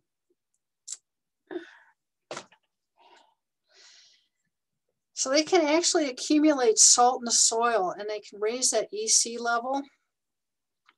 They can change the water table depth. They can actually make the water table go deeper. Increase erosion, increase wildfire, um, tumbleweeds, tumble mustard. That's a, that's a real recipe for problems. So weeds, natural methods, wind, water, animals, people, you know, you think about, you know, the weeds that get stuck on your socks or your your pants or your shoes and and you brush them off and yeah, just, just move the weeds. Catherine, can yeah. you say something about how weeds can increase salt in your soil and increase erosion? Yeah. So there's one in particular called um, tamarisk salt cedar. And so it actually will pull the salt out of the soil, you know, locally, and then it, it exudes it back. The roots exude it back into a concentrated area. And that other plants just can't grow in there. And um, Dalmatian toadflax has got a, the roots are allelopathic, and that means that, that the roots exude a natural chemical herbicide that kills off the native plants, like your native grasses. And so now it's bare ground. And that bare ground is going to be more prone to wind erosion. And so the soil is going to just blow away. And so that's that's a weed that we're fighting like crazy here in Laramie County. Uh, it's it. I'll show you pictures of it, but it looks like giant yellow snapdragons. And it's it's not native. It's it's, it's a problem. It's, it's a huge problem. Um, construction, vehicles, tillage, contaminated seeds, um, prairie seed, prairie grass seed, livestock management, whole sorts of mechanical methods for um, for weeds to, to take over. Construction is especially difficult to remediate in Wyoming. And uh, I watched the pipelines go through and they're, they're doing a good job of preventing weeds from coming in and trying to hold the soil down. And I, I've talked with them on a number of occasions and, and they're really, they really do care about how the land looks when they're done putting in a pipeline. So some of this, some of the weeds that we're fighting, downy brome or cheatgrass. And this, this is a winter annual. And so it's, we talked a little bit about it the last class. It, it germinates at 46 degrees. So it, it likes it cold.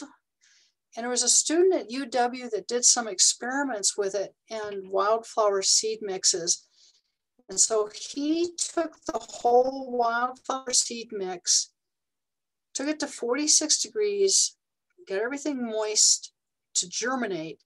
The cheatgrass germinated, the downy brome germinated at 46 degrees. The wildflower seeds did not. And then he dried everything out, thinking, okay, now I've killed, theoretically, I should be killing the cheatgrass, the downy brome.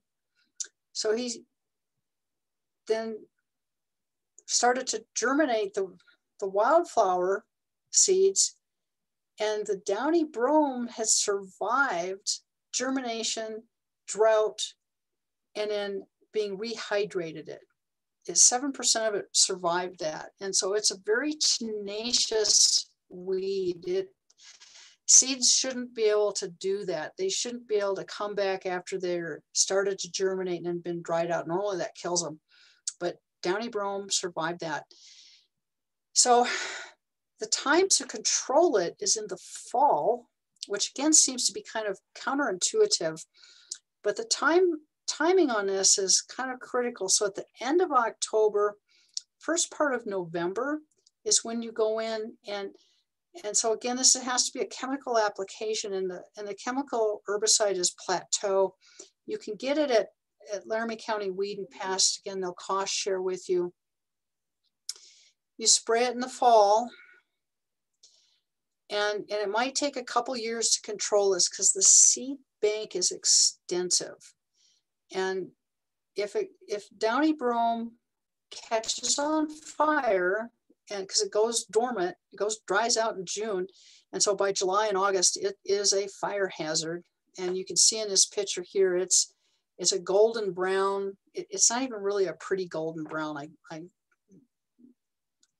gets stuck. In, the seeds get stuck in your socks and stuck in dog's fur, and it's just kind of a nasty character. But it will catch on fire and burn, and it will be the first one to re-germinate and come back after a fire. So trying to control this one with fire is doesn't work either. And and you would think, God, I just burn it all out.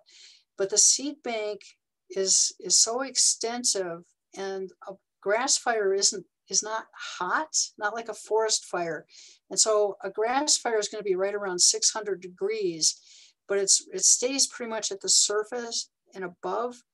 And so it doesn't really get to that seed bank. And so that's why it's the first one to come back and it outcompetes all your native grasses. So it's it's just very very difficult. You can take you can carefully take Roundup to it and spot spray it, and I've certainly controlled it in in some of my garden areas with Roundup, and that will take it out. And then you can go back in and reseed fairly soon but if you've got acreage, you can't do that. It's just not cost effective. So this is a really tough one. And you, um, the research station up at Lingle, they've done a lot of experimenting with grazing it and spraying it and timing on it. And I've, I haven't seen anything really conclusive in any of the test pots. So it, it's challenging. So this is one Um, try not to let that get out of control. Okay, field bindweed. Oh, this is just persistence. this is just this is just persistence. And you got to pull it, you got to spray it, you got to pull it, you got to spray it. And it's just it, there's no magic bullet for this this one. It's just it's just persistent. The root system, you know what a bowl of spaghetti looks like? Well, that's what the root system looks like underground. It's just that extensive. I have seen bindweed go underneath an asphalt road, a 40 foot wide asphalt road, and come up on the other side. And I've seen it push through the asphalt. And it's just, it is persistence, just persistence. Okay, Dalmatian toadflax. And this is one I've been trying to educate people on since 2010. And it seems like an uphill fight on it. And there was one year where it really got out of control. It's, it has, it's a perennial and it has underground rhizomes. It's very, very extensive. And so again, timing of control on this is everything. And, it, and this is this is true with all your weeds. Timing is, is so important. This is one you can spray it when it's blooming. You can spray it when it's um, after the first frost. So sometime in September, October, when we get that first frost, then you go out and you spray it. Same thing with thistle. So, so if we put thistle and Dalmatian toadflax together, the control methods are going to be very similar and along with the timing. And so with thistle, when it's blooming, because it's very vulnerable, it's, it's sending a lot of energy out to bloom. Blooming is at a huge cost to a plant. So if you can hit it with something like 2,4-D, um, you can go to Weed and Pest if you got a big spot of it, um, Milestone, you can, there's a couple that you can blend together, work with weed and pest on that one. And so when it's blooming, so thistle and Dalmatian toadflax, when it's blooming, and in the fall after first frost. And there's, and it's persistence. I've got thistle down around, um, Crow Creek runs through my property. And so I've got some thistle down along the creek and been fighting that for years. I thought I had a control on it. And lo and behold, it came back this spring. I'm not happy about that. I have a little spots of Dalmatian toadflax. I do pull it. It pulling seems to be very effective. Even though it's got this very extensive underground root system, pulling it seems to really set it back. And I've pulled it in spots and I haven't seen it come back. I got some big areas that I will spray I don't want this out of control. If Dalmatian toadflax gets out of control on your property, it will take over and you will lose any, any ability to graze an animal out there whatsoever. Again, it's, it has allelopathic properties at the roots. So it has a natural herbicide that kills off competitors like your native grass.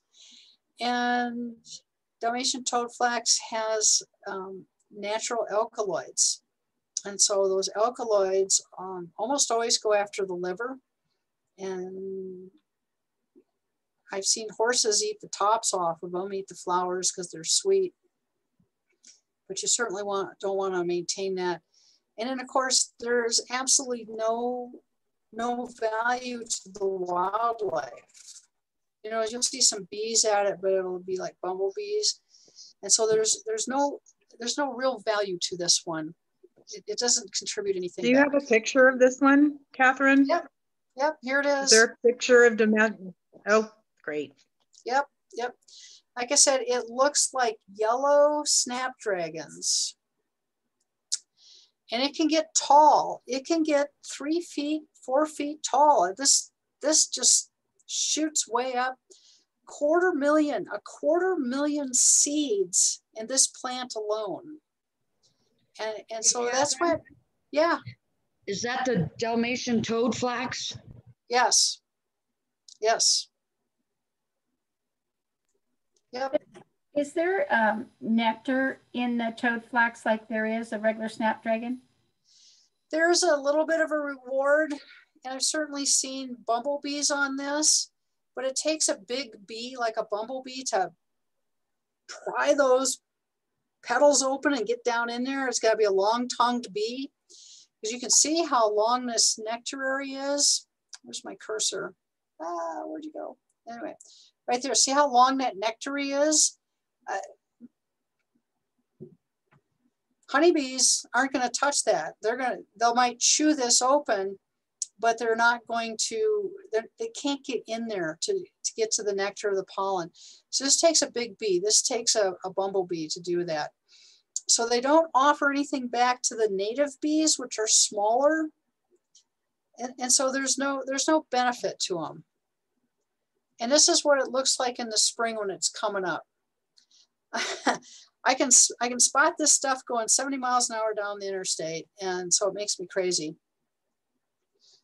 And if I walk your property, I, I'll find it and I'll point it out and I'll pull it and I'll hand it to you, so you know. But this, don't let this get away on your property. You, controlling it and reclaiming it, you're looking at three to five years, uh, uh, that long of a battle. Okay, leafy spurge. Um, again, allelopathic, deep root system, perennial. This is what this looks like. And this is along the base. F.E. Warren base has a, has a big problem with this and they're not controlling it. And they, and they, I don't know why they're not controlling it, but they're not. And so it, it works its way downstream into the city of Cheyenne. And so the city of Cheyenne's been fighting this for, for 40 years. And so when you see the goats out grazing Crow Creek, that's, that's, they're trying to control leafy spurge. Um, so when you spray, does it kill the other things growing on your property? Spot spray. You don't have to spray everything, but spot spray. So you can get like a little spray tank, little pump spray tank and just go out and spot spray. You don't have to spray everything. So, so know what you're going after unless it's so bad that you have you have no option. And I have a small amount of toad flax. Is pulling an effective means to eliminate it? I've pulled mine. I, when I find it, I'll try to pull it. I've got one patch now that's kind of gotten away from me. So I'll have to spray it. But pulling it, pulling it can be effective. I don't like to spray. I don't want to use herbicides if I don't have to. So I will, I will pull. Not my favorite task. Catherine, you mentioned pull and spray. I mean, if you're gonna use a combination of those techniques, do you pull first and then spray where you pulled it out of, or spray first and then pull? Okay, so one method or the other. And and, and trying to blend these methods, usually I, have seen people kind of really get it wrong. So if you're going to spray, just spray. Don't mow it, just spray it. If you're going to pull, pull it, but don't spray it. So one or the other, but usually they don't blend well. Okay, Russian thistle. This is what this stuff looks like when it's when it's just um, coming up in the spring. So my dad's wheat farmer pulls, then burns. Um, so burning actually works. And I can't imagine being a wheat farmer and trying to pull weeds, but um, uh, on, a, on a scale of, and I've burned my prairie in the past. And, and again, my husband with a flamethrower is, is not, is not a good thing. so we haven't burned the prairie in a long time.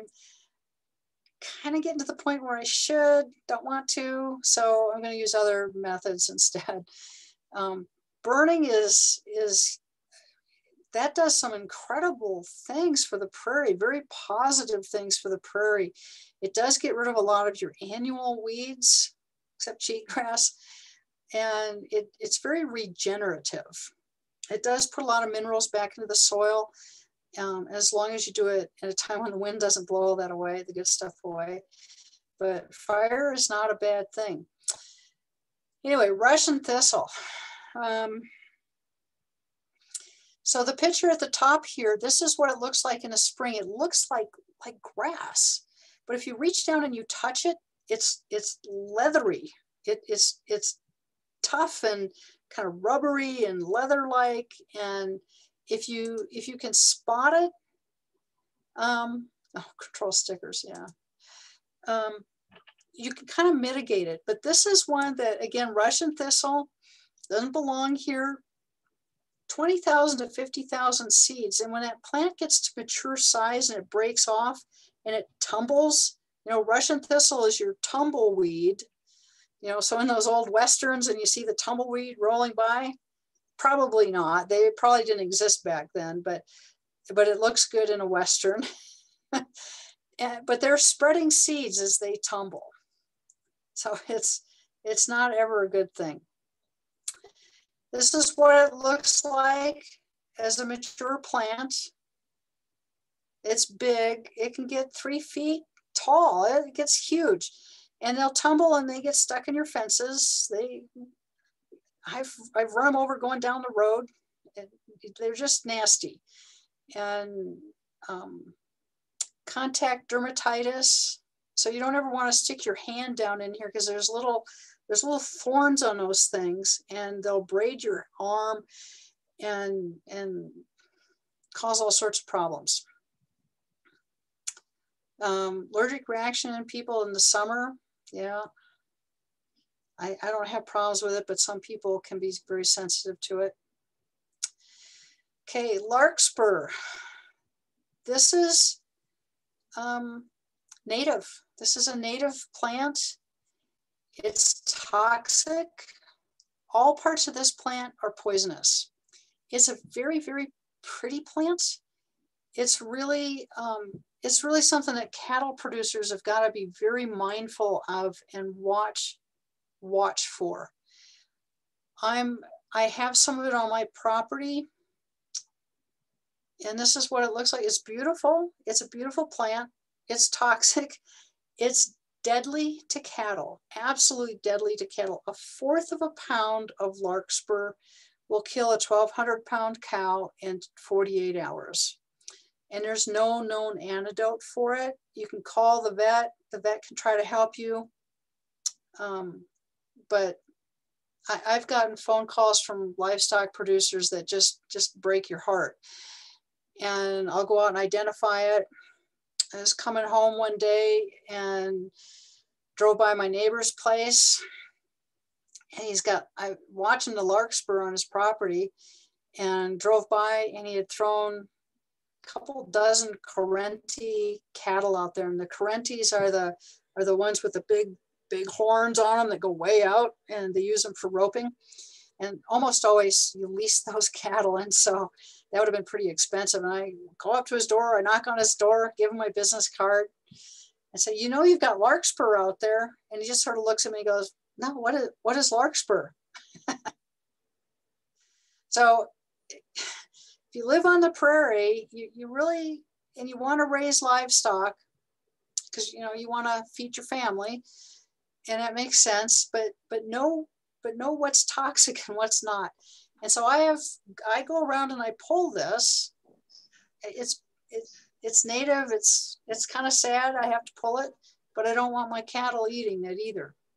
So if you live on a little plot uh, close to town, that's just outside of town, no. like I do, and you're not raising any kind of animals, does it matter if you have larkspur? Nope. If you're not raising, if you not don't have cattle, and or sheep or horses, enjoy it. By all means, it's beautiful. Enjoy them. Yeah. Don't, what about don't put it in your salad. like dogs and cats? No, they won't eat it. horses will, will eat it, but it takes like 20 pounds to make a horse sick, you know, but you still don't want to go there. Again, it's native.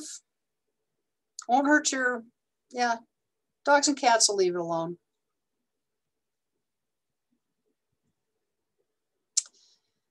Um, again, Larkspur, no antidote. And if a, if a vet can get to the animal in time to treat it, the, the treatment's almost as toxic as the larkspur. Okay, native grass prairie forbs. So forbs, a lot of times you'll hear um, the wildlife people talk about forbs, and it's just a term for weeds and wildflowers. But, but usually it's native weeds and native wildflowers. And so a lot of times you'll see antelope hanging out in someone's wheat field and they'll nibble some of the wheat, but they're really going after, antelope really want the wildflowers and, and the weeds more than they want wheat. Um, prickly pear, I wish I had better pictures of this. Um, globe mallow, I'm gonna kind of skip through this a little bit because um, I've got a, another section in here of um, wildflowers, prairie wildflowers, and the pictures are infinitesimally better. Small mammals and rodents, rabbits. Oh my gosh, I get a lot of calls about rabbits. And usually these little guys are in, in town in someone's domesticated yard with their bluegrass and they're grazing the bluegrass and eating shrubs and um, causing damage. And so in town, they're harder to control. You can put up fencing for them, which doesn't ever look nice. And then uh, if you've got a cat or your neighbors have cats that wander, they'll control the rabbits. Dogs certainly will chase them off, although I have these guys out at my property and my dogs, four dogs, just look at the rabbits and we'll give kind of a token chase and the rabbits will kind of give a token run. And then they, they both stop and look at each other like, oh, that was worthless. So rabbits prefer some type of cover. So they're, they like shrubbery. They like the trees. They like, they, sadly, they like your windbreak. And that's where most of mine hang out is in the windbreak. The damage is going to be at a 45 degree angle. So it's going to be a sharp cut. And they like your garden, they like the vegetables in your garden, flowers and shrubs. And if you're out in the county, if you're out in the prairie, don't mow. This is going to discourage them. And so most of these, this wildlife that you don't want, like the rabbits and the hares,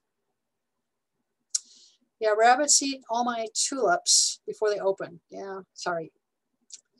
Yeah, deer will eat your tulips too. I think antelope will eat tulips. Sorry. Um, but mowing, so with your jackrabbits and your hares, your cottontail bunnies, prairie dogs, the more you mow the prairie, the more of these guys you will have. And so I'm going to skip ahead. There's the damage caused by a cottontail bunny. That's a way to protect your trees from both prairie, um, from hares and cottontails. Hares, big, long, giant ears, they're huge. they're absolutely huge. Even my even my dogs kind of look at them and go, yeah, I'm not messing with that. Um, so again, don't mow. They and so I'm going to jump ahead to prairie dogs. Prairie dogs, your your cottontails, and your your jackrabbits, they all want to be able to have a view. They want to see the predator coming. They want to see that hawk, the, the eagle. They want to see the fox, the coyote. They want to be able to have a view. And, and so they can see the predator coming and they can escape. If they can't see the predator coming, then they're going to they're going to leave. They're going to go find some place where it's safer for them. And if you let your grass get tall they can't see over it and they're going to go to your neighbor who mows or is overgrazed and they're going to hang out there. And there's some really good examples of that in some of the subdivisions close to town that have mowed their prairie and they've got just lots of prairie dog holes. And once you get prairie dogs the methods of trying to get rid of them is just very toxic. It, it's just very, very toxic. So don't mow. You can try putting um, visual barriers around the holes like straw bales or, or just um, some sort of some sort of creative visual barrier to discourage them. But prairie, prairie dog towns are extensive, extensive. And so once you get them, boy, they're hard to get rid of. But mowing, well, and if you if you want prairie dogs, gophers, rattlesnakes, then then mow because rattles and and so I run into this is another fun one I run into. Um, people mow because they don't want snakes. Well, that's a back east thing. The western snakes, whether it's a bull snake or a rattlesnake, they again want that bare ground that's warm because they're a cold-blooded animal. They need that heat from the ground to warm up so they can function. And so you'll see snakes sunbathing on rocks, bare patches of ground. That's why you see the bull snakes in the middle of the road. I've been known to stop and push bull snakes out of the road so people don't run them over. And and they want they want that open. So you can discourage snakes by letting the grass get tall and, and keep that shady and cool you know, we talked about that. And that's how you're going to discourage your snakes. Prairie dogs, prairie dog towns are they're associated with black widow spiders and rattlesnakes. So when you drive by your neighbors and you see they've got prairie dog colonies, prairie dog holes, you, you can also bet there's going to be rattlesnakes and black widow spiders on that property. Not a good thing. Don't mow. Stop mowing. Let that prairie get tall. You're not creating a fire hazard. You're preventing a lot of, you're actually going to prevent a lot of fire and you're going to keep that ground cooler and reduce a lot of these problems, the, the rabbit problems and prairie dog problems. Okay. Okay, do not mow. Right there. Do not mow. I'm going to get off my soapbox. pocket gophers. Oh. So pocket gophers are a tough one because it doesn't matter if you don't mow or you mow. They, they don't care. And they're they don't hibernate, so they're active year round. They're active at night, they're active during the day. they leave these giant mounds they will girdle a tree. They, they, on the other hand, they have plowed up a couple of my vegetable gardens that were hard as rocks. And I'm like, wow, that pocket gopher came in handy. And unfortunately, I have, I have uh, barn cats that, that hunt them. So after they plowed up the soil, the barn cats got them. But this is what it looks like after the snow melts. So they've got these tunnels. This is pocket gopher right here. And then during the summer, this is what it looks like. So they're mounds of dirt. They are great earth movers. They're amazing earth movers, but they are just hard on trees. And this is a tree that a pocket gopher ate. They have literally eaten all the roots off of it, girdled the tree, and the tree just fell over.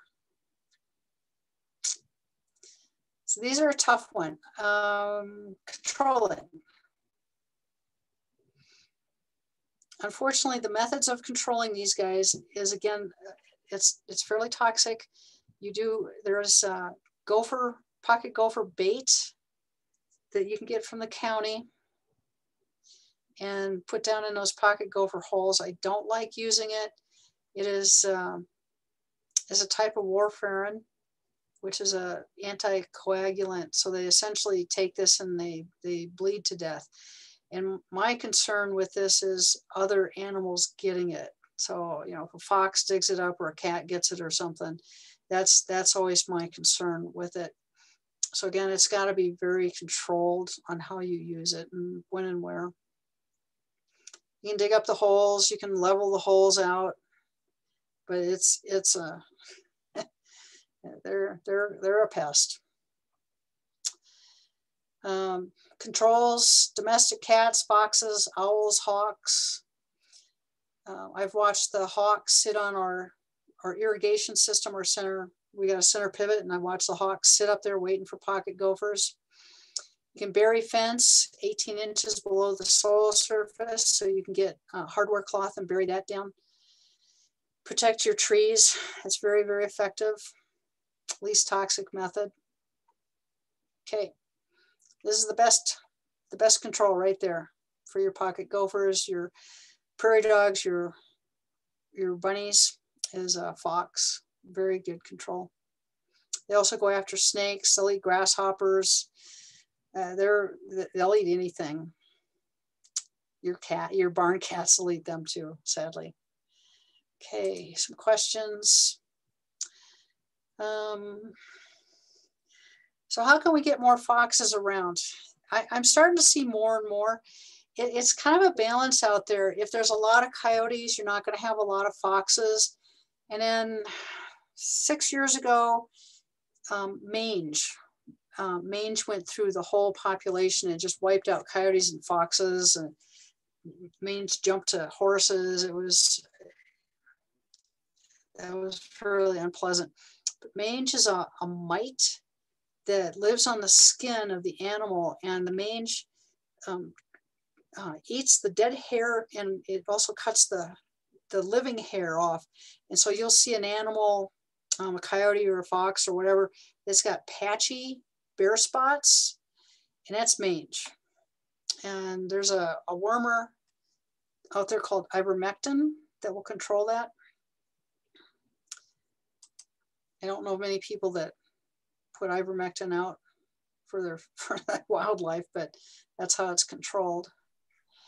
Wait, so, so sorry, one more question about the yeah the underground fencing. Um, because I know I have some signs of these gophers on my property, and I haven't started planting trees yet. But it should I be doing this for all the trees that I plant? Doing this hardware cloth under them? No, you don't have to. Um, I usually go around and rake the, the pocket gopher holes flat. I level them out flat. So I just harass them. And that's how I get them out of my garden. And then my my barn cats do a number on them too. So I don't I don't try to go to that extreme, but when you put down a windbreak, make sure that your irrigation system is on top of the weed barrier. And that and that it's not you're not watering everything, you're just only watering the tree. And because pocket gophers like moist soil, they like excessively moist soil. So it's it's a real balancing act with those guys. And once they get into your tree break, that's where you take the gloves off and you fight back with poisons, sadly. And that's a whole nother lecture though, really. Okay, so open range. So the last part of this, and this is fairly quick, these are some of the wildflowers found on the prairie. It's just a sampling. And I hiked around on my property. I had, I had the time and the opportunity last spring and summer to walk around on my property and take pictures of my wildflowers. Argemone polyanthemos, prickly poppy. This is a native poppy no, not a true poppy, but a native poppy to Wyoming, to the western region. And it's called the prickly poppy. And it's, you see these leaves, and each end has got a very sharp point on it. And this is how it deters grazing animals from eating it. It's prickly, it's pokey. The flower, on the other hand, will attract a lot of your native bees. I've seen a lot of bumblebees, native bumblebees going after this and little native bees on it. I've got some of it that's kind of just blew in. The seeds are poppy seed like. and it just blew in. I've got some in my perennial flower beds. It's a fun one to work around. Blooms white from May through August. It's a short-lived perennial, so only expect to see it maybe two to three years, and it will reseed and pop up some other place. Full sun, sandy, well-drained soil, and drought tolerant. It is very drought tolerant. It, it's pretty amazing at where I see it grow, and it just blooms its little heart out. Brassica rapa. This is bird seed, bird's rape mustard. And this is, is gonna have these long, not even really leaves, but long stalks on it. And then the kind of a yellow, sulfur yellow flowers on them. Uh, annual or biannual, so one year to two years. Full sun, moist, dry conditions, so it doesn't really care. neutral to neutral to alkaline soils containing loam, clay loam, or gravelly material. It doesn't care, it will grow anywhere. It's native. Coreopsis tinctoria. This is one where when we get the right amount of moisture in the spring, it's just sort of a sea of yellow, beautiful yellow. And the, the uh, species name on it, tinctoria, means that it's a dye. It's a natural dye. So I have gone out and I've collected a lot of this stuff and I've done dyes with it. And it's a it's a yellow dye. And of course, there's a whole nother class, but if depending upon the mordant you use, if you use an iron mordant to it, you get this really pretty kind of a tan taupe, tanny taupe. Does that make sense? Anyway, it's pretty. Short-lived perennial, total of two to three years, 18 inches tall, June through September. So it'll have one huge flush of color in June and then it'll bloom sporadically. This is another plant that native bees love and we'll go to. This is easy to grow uh, in your own garden. So you can start it from seed, you can buy it as a plant. It's just, it's not long lived. That's, that's the only, that's the only downside with this guy. Sandy, well-drained soil, full sun. It, it'll grow anywhere on anything. Eriogonum flavum, this is wild buckwheat. And this is if you're doing a native pollinator garden, this is a must have in a native pollinator garden. Perennial, fairly long lived, gets about 10 inches tall, and again, not picky not picky. Loose, rocky soils, full sun, light shade, adaptable, different soil types. Don't care, not picky. Uh, yellows, pinks, creams, or whites. Predominantly yellows. Blooms June through September. So this is another great support plant for your native pollinators. Drought tolerant, good in rock gardens, native bees, butterflies. So uh, not particularly showy, but it's a good one to have. Where can we find, so the question is, where can we find seed for these native pollinators? Um, Applewood Seed Company is the one that the Southeast Wyoming Beekeepers Association goes to. And we've got one member, Dr. David Lewis, who buys this seed in bulk. Will buy a 50 pound bag. And after the lecture, I will send you his information. You can get in contact with him. And he puts an order in every year and it's, uh, it's a, he gets it at a really good price, really good price. Okay. Erysimum asperum this is yellow wild wallflower, wallflower. This is another one. This is an early one. This this guy will come up in, in May and June. And it'll just, again, this is another one. It covers the whole prairie. It'll be just huge, massive drifts of the wallflower.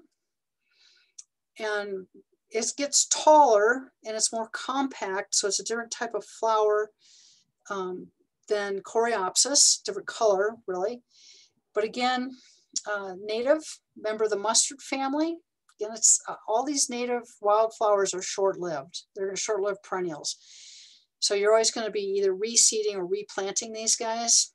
Blooms May, May to July. Full sun, open areas, well drained. It reseeds easily. That's the good news. It reseeds. Uh, again, not picky.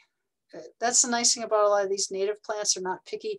Most of them don't want to be overwatered. That's their only picky thing is, is don't overwater them.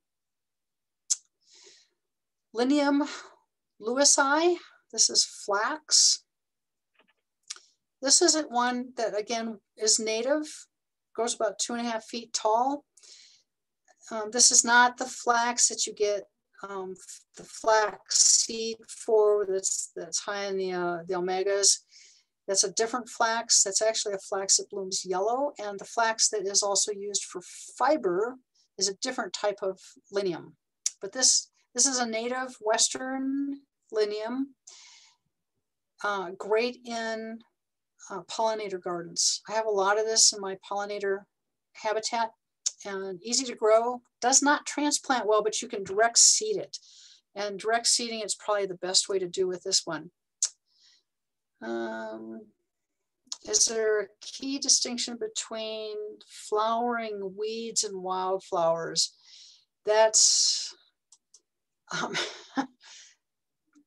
depends upon how you want to look at it. There are some weeds that you definitely don't want, and those are the, the introduced non-native weeds. There's a lot of native weeds, and it just all depends upon how you want to look at that.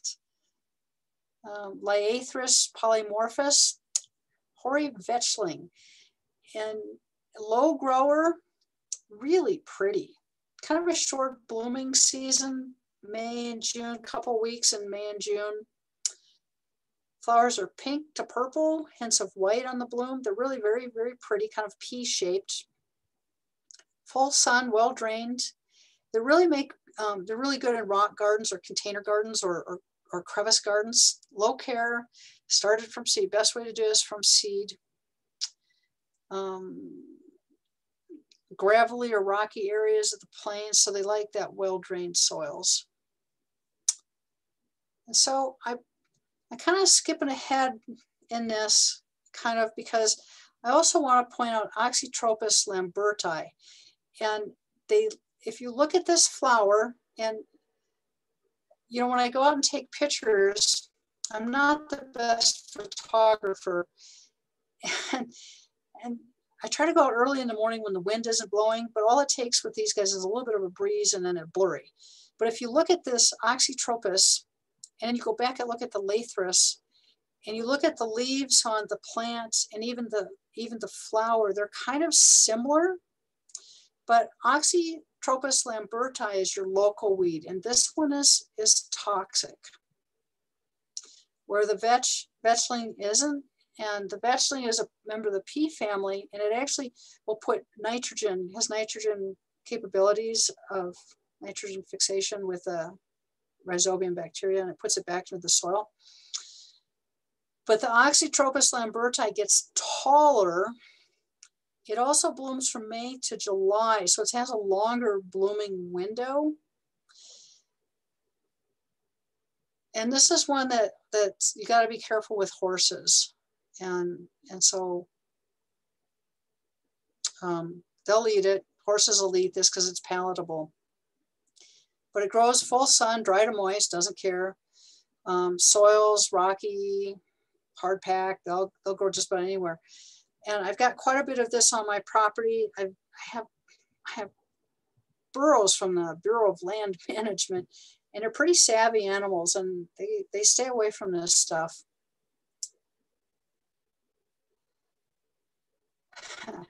okay, Leucocrinum montanum star lily. Tiny, tiny little plant. So when I go out hiking on the prairie and I'm taking pictures, I usually have an escort. And, and so this is a, a great example of how tiny this flower is. This is a this is the nose of a Welsh Pembroke corgi.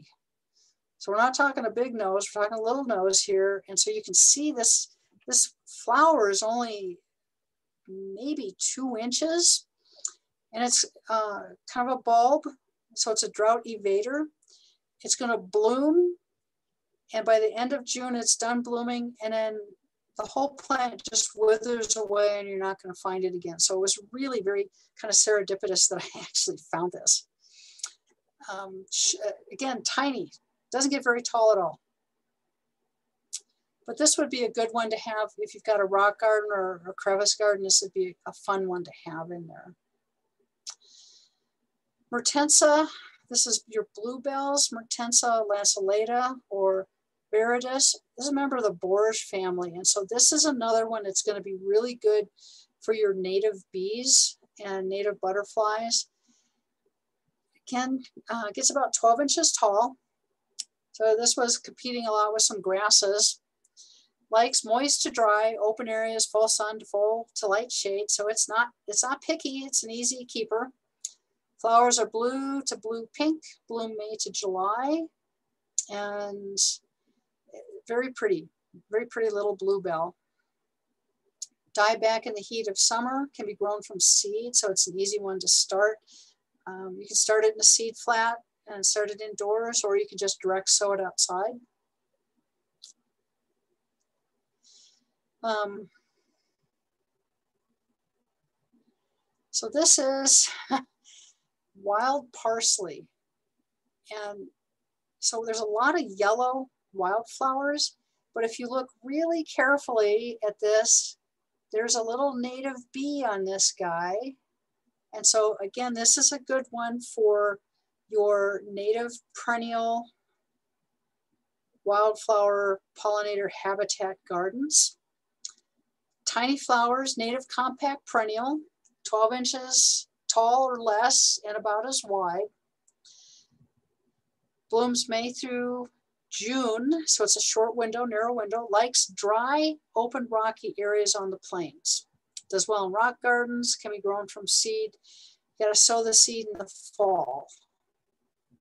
So a little, little different, little different. I suspect you could sow it, you know, have a wildflower seed mix, sow the whole thing all together in early, early spring.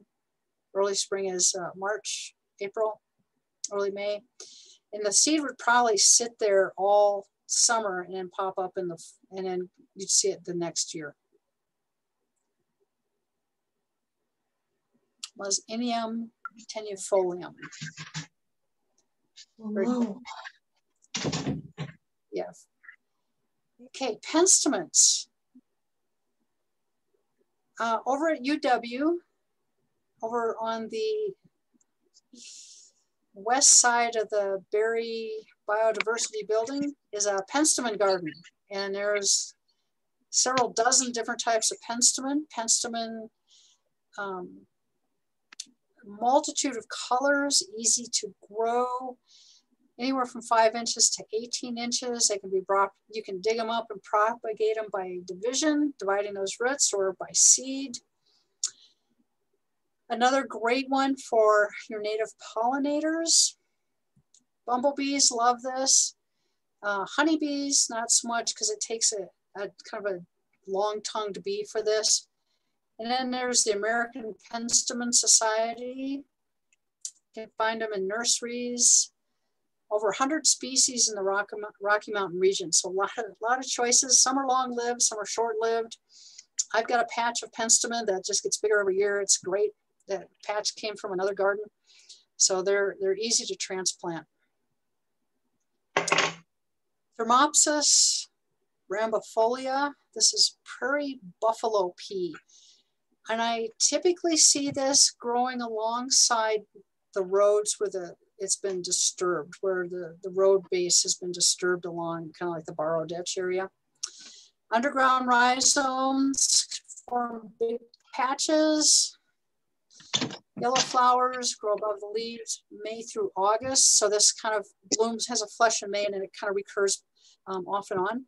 Very drought tolerant, works well in perennial flower beds. Rumex venosus, this is veiny dock.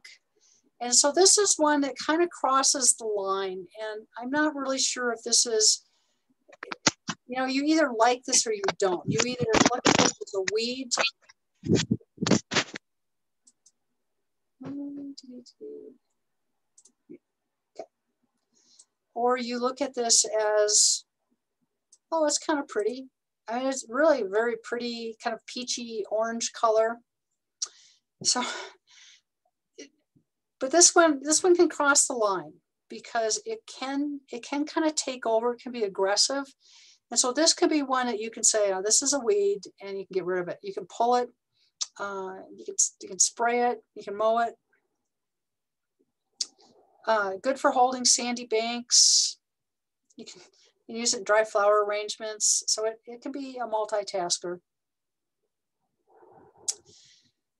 Viola nuttallii, yellow prairie violet. So again, I, I was it was really kind of one of those serendipitous things where I came across this tiny, very tiny, maybe maybe three inches above the ground. The leaves are huge, the flowers tiny, but again, it's it's a native viola found throughout the Rocky Mountain region. It does like it a little bit um, oh, a little bit more sunny. It's kind of an unusual viola and it, it likes um, it likes it dry and, and hot. That's unusual. Most violas are are shade lovers and cool, moist soil. So this is this guy kind of changes the rules a little bit. Predominantly, gosh, I found this in May, May, June. And when I went back in July, I couldn't find it again.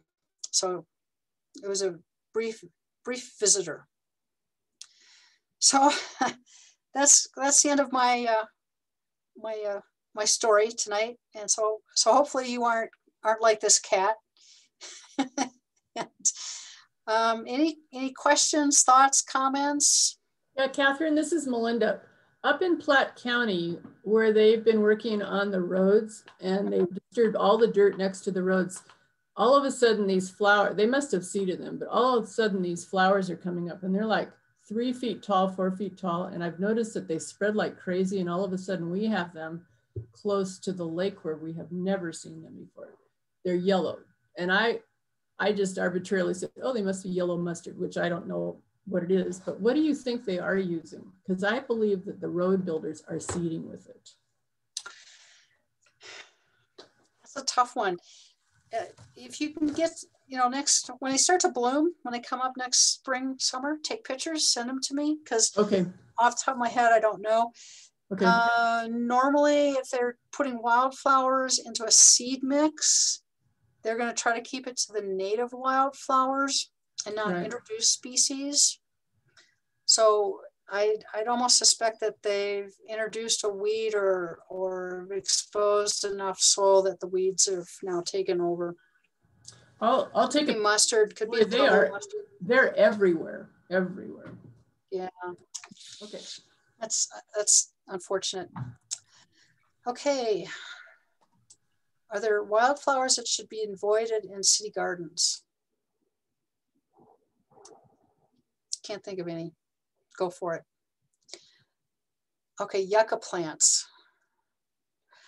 So yucca plants are, are tenacious and they're gonna grow in, in soil that's a little more alkaline, a little more um, compacted, a little bit more dry. And they have, they have a root that goes to China. and and I mean, it's it's a root that's like six feet deep or, or deeper. And so trying to eliminate yucca is daunting. You can you can burn them out, you can cut them out, you can you can wrap them up with a chain and try to yank them out, and they will come back. All it takes is just a little bit of, of root like this, and they'll grow back from that. So trying to control them is really difficult, but they're, they're serve a purpose and that they do provide shelter for wildlife. They will hold the snow, and sometimes they're the only thing there that's holding the snow and banking it. And so they're they're they're helping that moisture level. go deeper into the soil.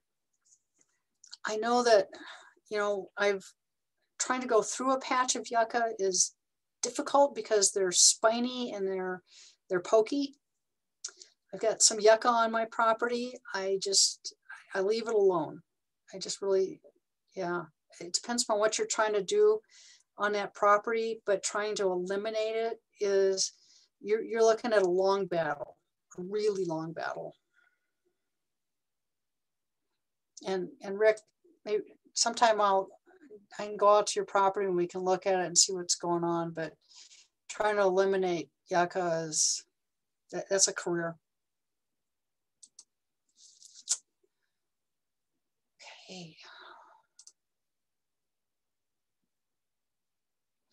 Okay, how about some non-clumping yarrow or feverfew or some shastas? Well, there's yarrow that's native to the prairie, and there's a um, Achillea millifolia that's that's creeping. It'll creep along and form a dense mat. Doesn't get very tall, maybe maybe 10 inches. And so that's that's a native and pollinators love it. Feverfew, Shastas. Um, there's some new Shasta varieties out that are that don't offer anything to pollinators. Uh, they're no pollen, no no nectar. So just kind of be careful with what variety you get. And a lot of times when you get into these new cultivars, they're pretty, they're beautiful, but they, they're not multitaskers. They look great in an arrangement and that's it. fever Feverfew, feverfew will jump. That's a nice herb. That'll that'll get going. You can make teas out of feverfew and that's a fun one. Okay. Any other thoughts or comments? Threw a lot at you tonight, a lot of on water, prairie, pests, wildlife, wildflowers. I I don't touch a lot on the grasses. I've I've got information on them, but the grasses um, complicated. I can send you what would make a good prairie grass seed mix. I have talked with the people at Jack's, which is um, the store that took over where Sears was at in the Frontier Mall. They have got, they now have a pretty decent wild um, prairie grass mix. You want to avoid prairie grass mixes that have smooth brome in them. And for a long, long time, smooth brome was the go-to grass that the Conservation District and Farm Service Agency went to because it was fast growing, it's deep rooted, it was, it was aggressive. Well, now we know a lot more about smooth brome and we know it's not a desirable grass and it outcompetes the native grass, it'll outcompete the wildflowers and it really doesn't offer anything back to the environment. It forms a dense mat, it, a dense mat 18 inches deep. I mean, you talk about thatch. So everyone's trying to get away from that grass. It, it's just not non-native, doesn't doesn't give anything back. So anything that's got the word wheatgrass in it, western wheat, intermediate, crested, um, those are all very desirable grasses to have in a prairie mix. Um, the wild native rye are, are, are good, alkali grass, sheep fescue. Those are all all ones you want to see in a mix. Um, if you can't get what you want at Jack's, you can have a custom mix made for you at Sharp Brothers Seed in Greeley. Um, Pawnee Buttes, I, they're not as flexible. They have their own mix and it does have smooth brome in it. Arkansas Valley Seed is another place. And then there's some online. Um, you can go to Applewood Seed. They're down in Golden, um, Colorado. And You're going to send us a link for that, right? Yep. Yep. I will send a link. Yep. I'll send a, I'll actually, I'll, I'll give you, um, I'll send you um, Dr. David Lewis's email because he does the um, wildflower mix order. Yep. Beyond Beauty, uh, another good seed company for wildflower mix. Catherine, I I have a question. I'm wondering. I just moved to this property a couple months ago, so I don't know all what kind of weeds were growing here, but I can tell that there's definitely some disturbed areas um, in the prairie, and I'm wondering if it's better to just leave it alone and see what happens, or if there's if it's if there are like proactive things you can do for your property. Um, you know, should I be thinking about overseeding with native grass seed or wildflowers or something out in my prairie or just sort of leave it alone and see what happens. Yeah. So do you know what was done on the prairie before you? The what the pre did they have? Did they graze it? Did they mow it? I don't think they gr grazed it because there's not fencing around. I know one side of the property was grazed by horses intermittently, but that looks pretty intact now. I think it's been a couple years. Um, I know that they had like heavy machinery on the property because there's a huge like parking lot in the front. Um, but it doesn't look like, I mean, I, it doesn't look like a lot of, a lot of the prairie has been disturbed. Okay, um, well. There's a little area, but the problem is there's a little area just east of the house where I'm hoping to plant some fruit trees that looks like it's been disturbed and I can't tell. I mean, like there's like the, the grass there looks really different. Um, so I don't know what that's going to turn out to look like. Yeah, I I'd be happy to come out this spring, summer and walk around and do identification and talk about it. Yep. Okay, great. Yep, yep, I'll do that. It's a fun part of my job. I get to go on people's property that I would normally not get invited. so that's, that's very cool. And sometimes I'll even send an email out and say, come join me to the whole class. Great way to learn. Yeah, come on over, guys.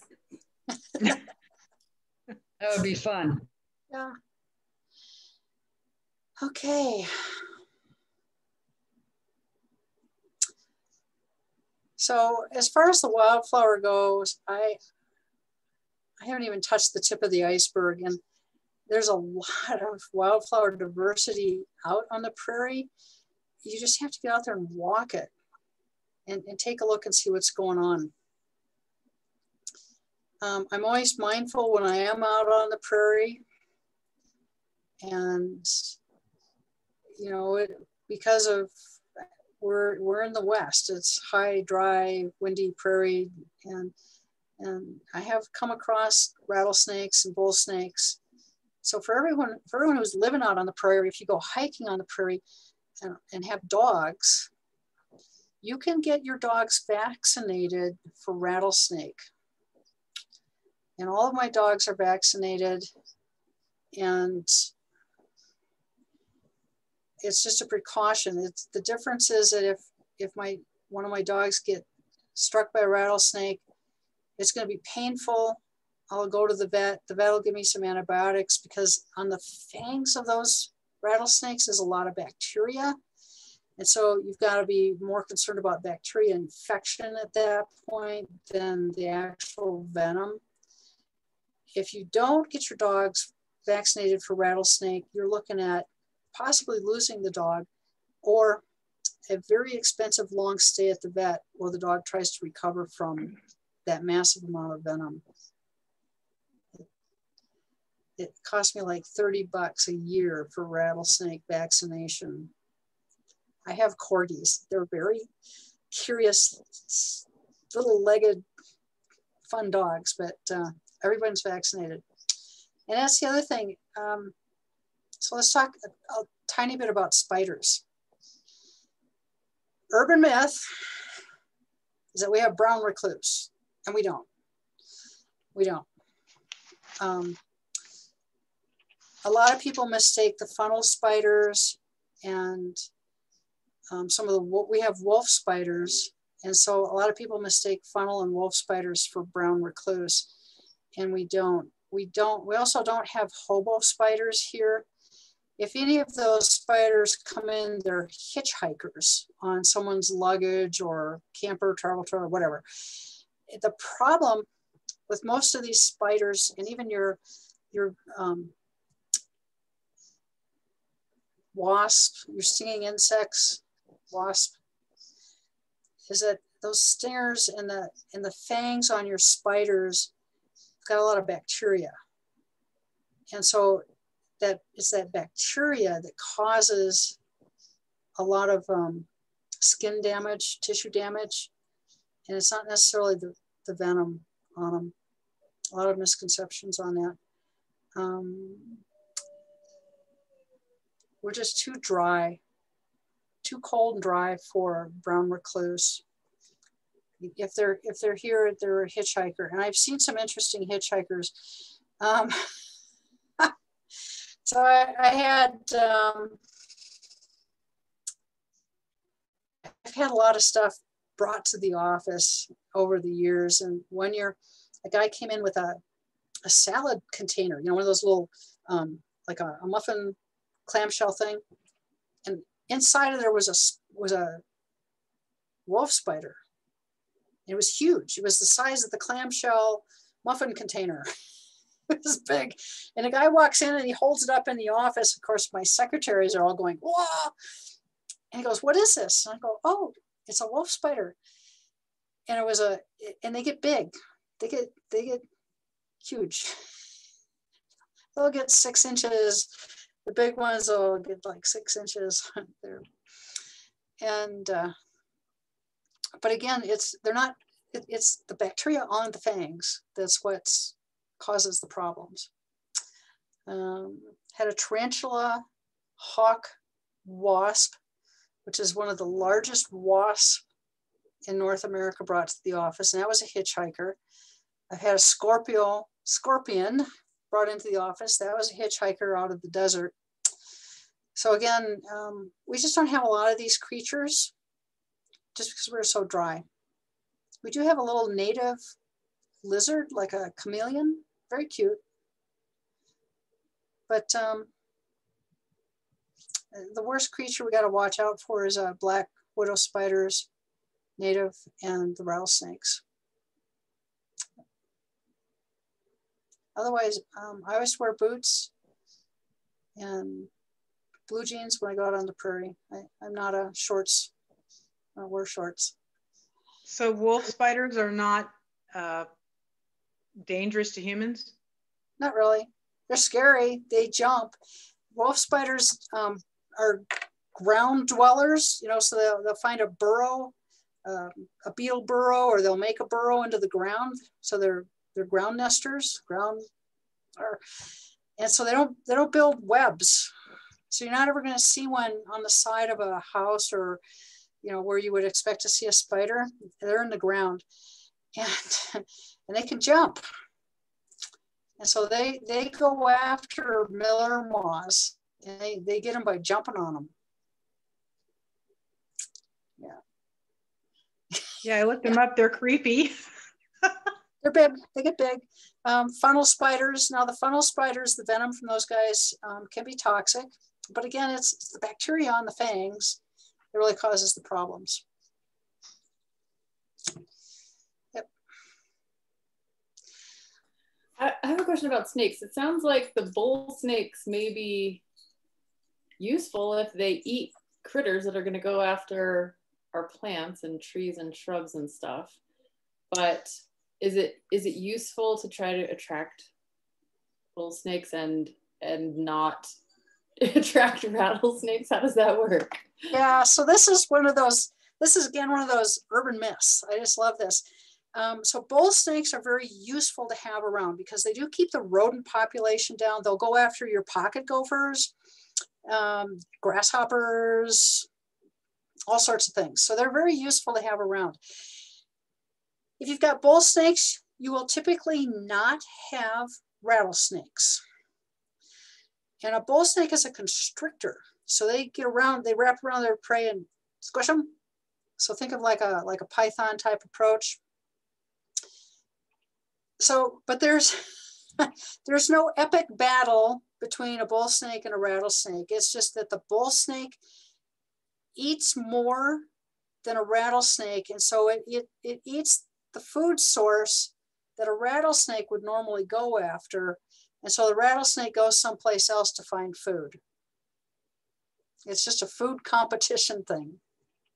any experience with trying to get or you know bringing bull snakes onto your property to try to eat the gophers and supplant the rattlesnakes? um, I've I've rescued a few. I'm not afraid of snakes, but at the same time, I I I have a lot of respect for them because a bull snake will get a hold of you and not let go. So I, I respect that. and, and so I'll hurt them or I'll, I'll get a, a big long, like a rake handle or something. And so I'll try to pick them up that way and move them. But they're, um, I don't know how to otherwise attract them. if I find one, I'll let you know if I have too many. I'd been reading something about they like to rock rock piles, like put a couple around your property, and that's where they they're like you know create habitat for them. Yeah. Oh yeah. Yeah, because they, they want a sun. They they're cold blooded and they they want that warm. Yeah, rattlesnakes well above nine thing though, right? Yeah. Oh yeah. They're all the same cold blooded creature creatures and yeah. Yeah.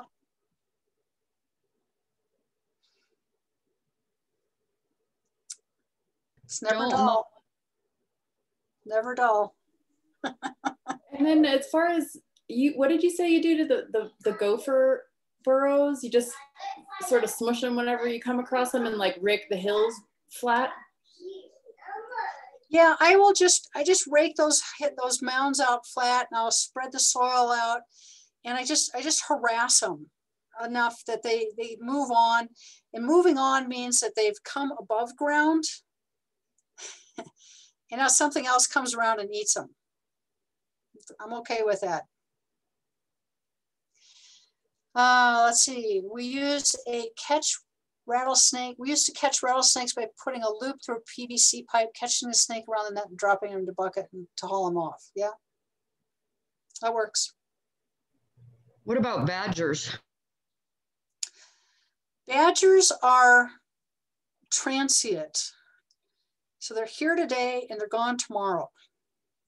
They dig a big, they dig a big hole, big. And and that's all you're ever really gonna see is a big hole because they're here today and gone tomorrow. They're they're just very they want they're wanderers. Have hiked up upon a couple badgers. They're beautiful animals. They're just gorgeous, but you, you gotta you gotta respect something that's a member of the Wolverine family. Make sure that your dogs have a have you've got a good rapport with your dogs, and when you say come or leave it, they do.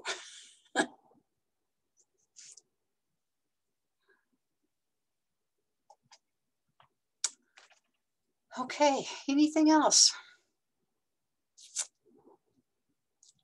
All right.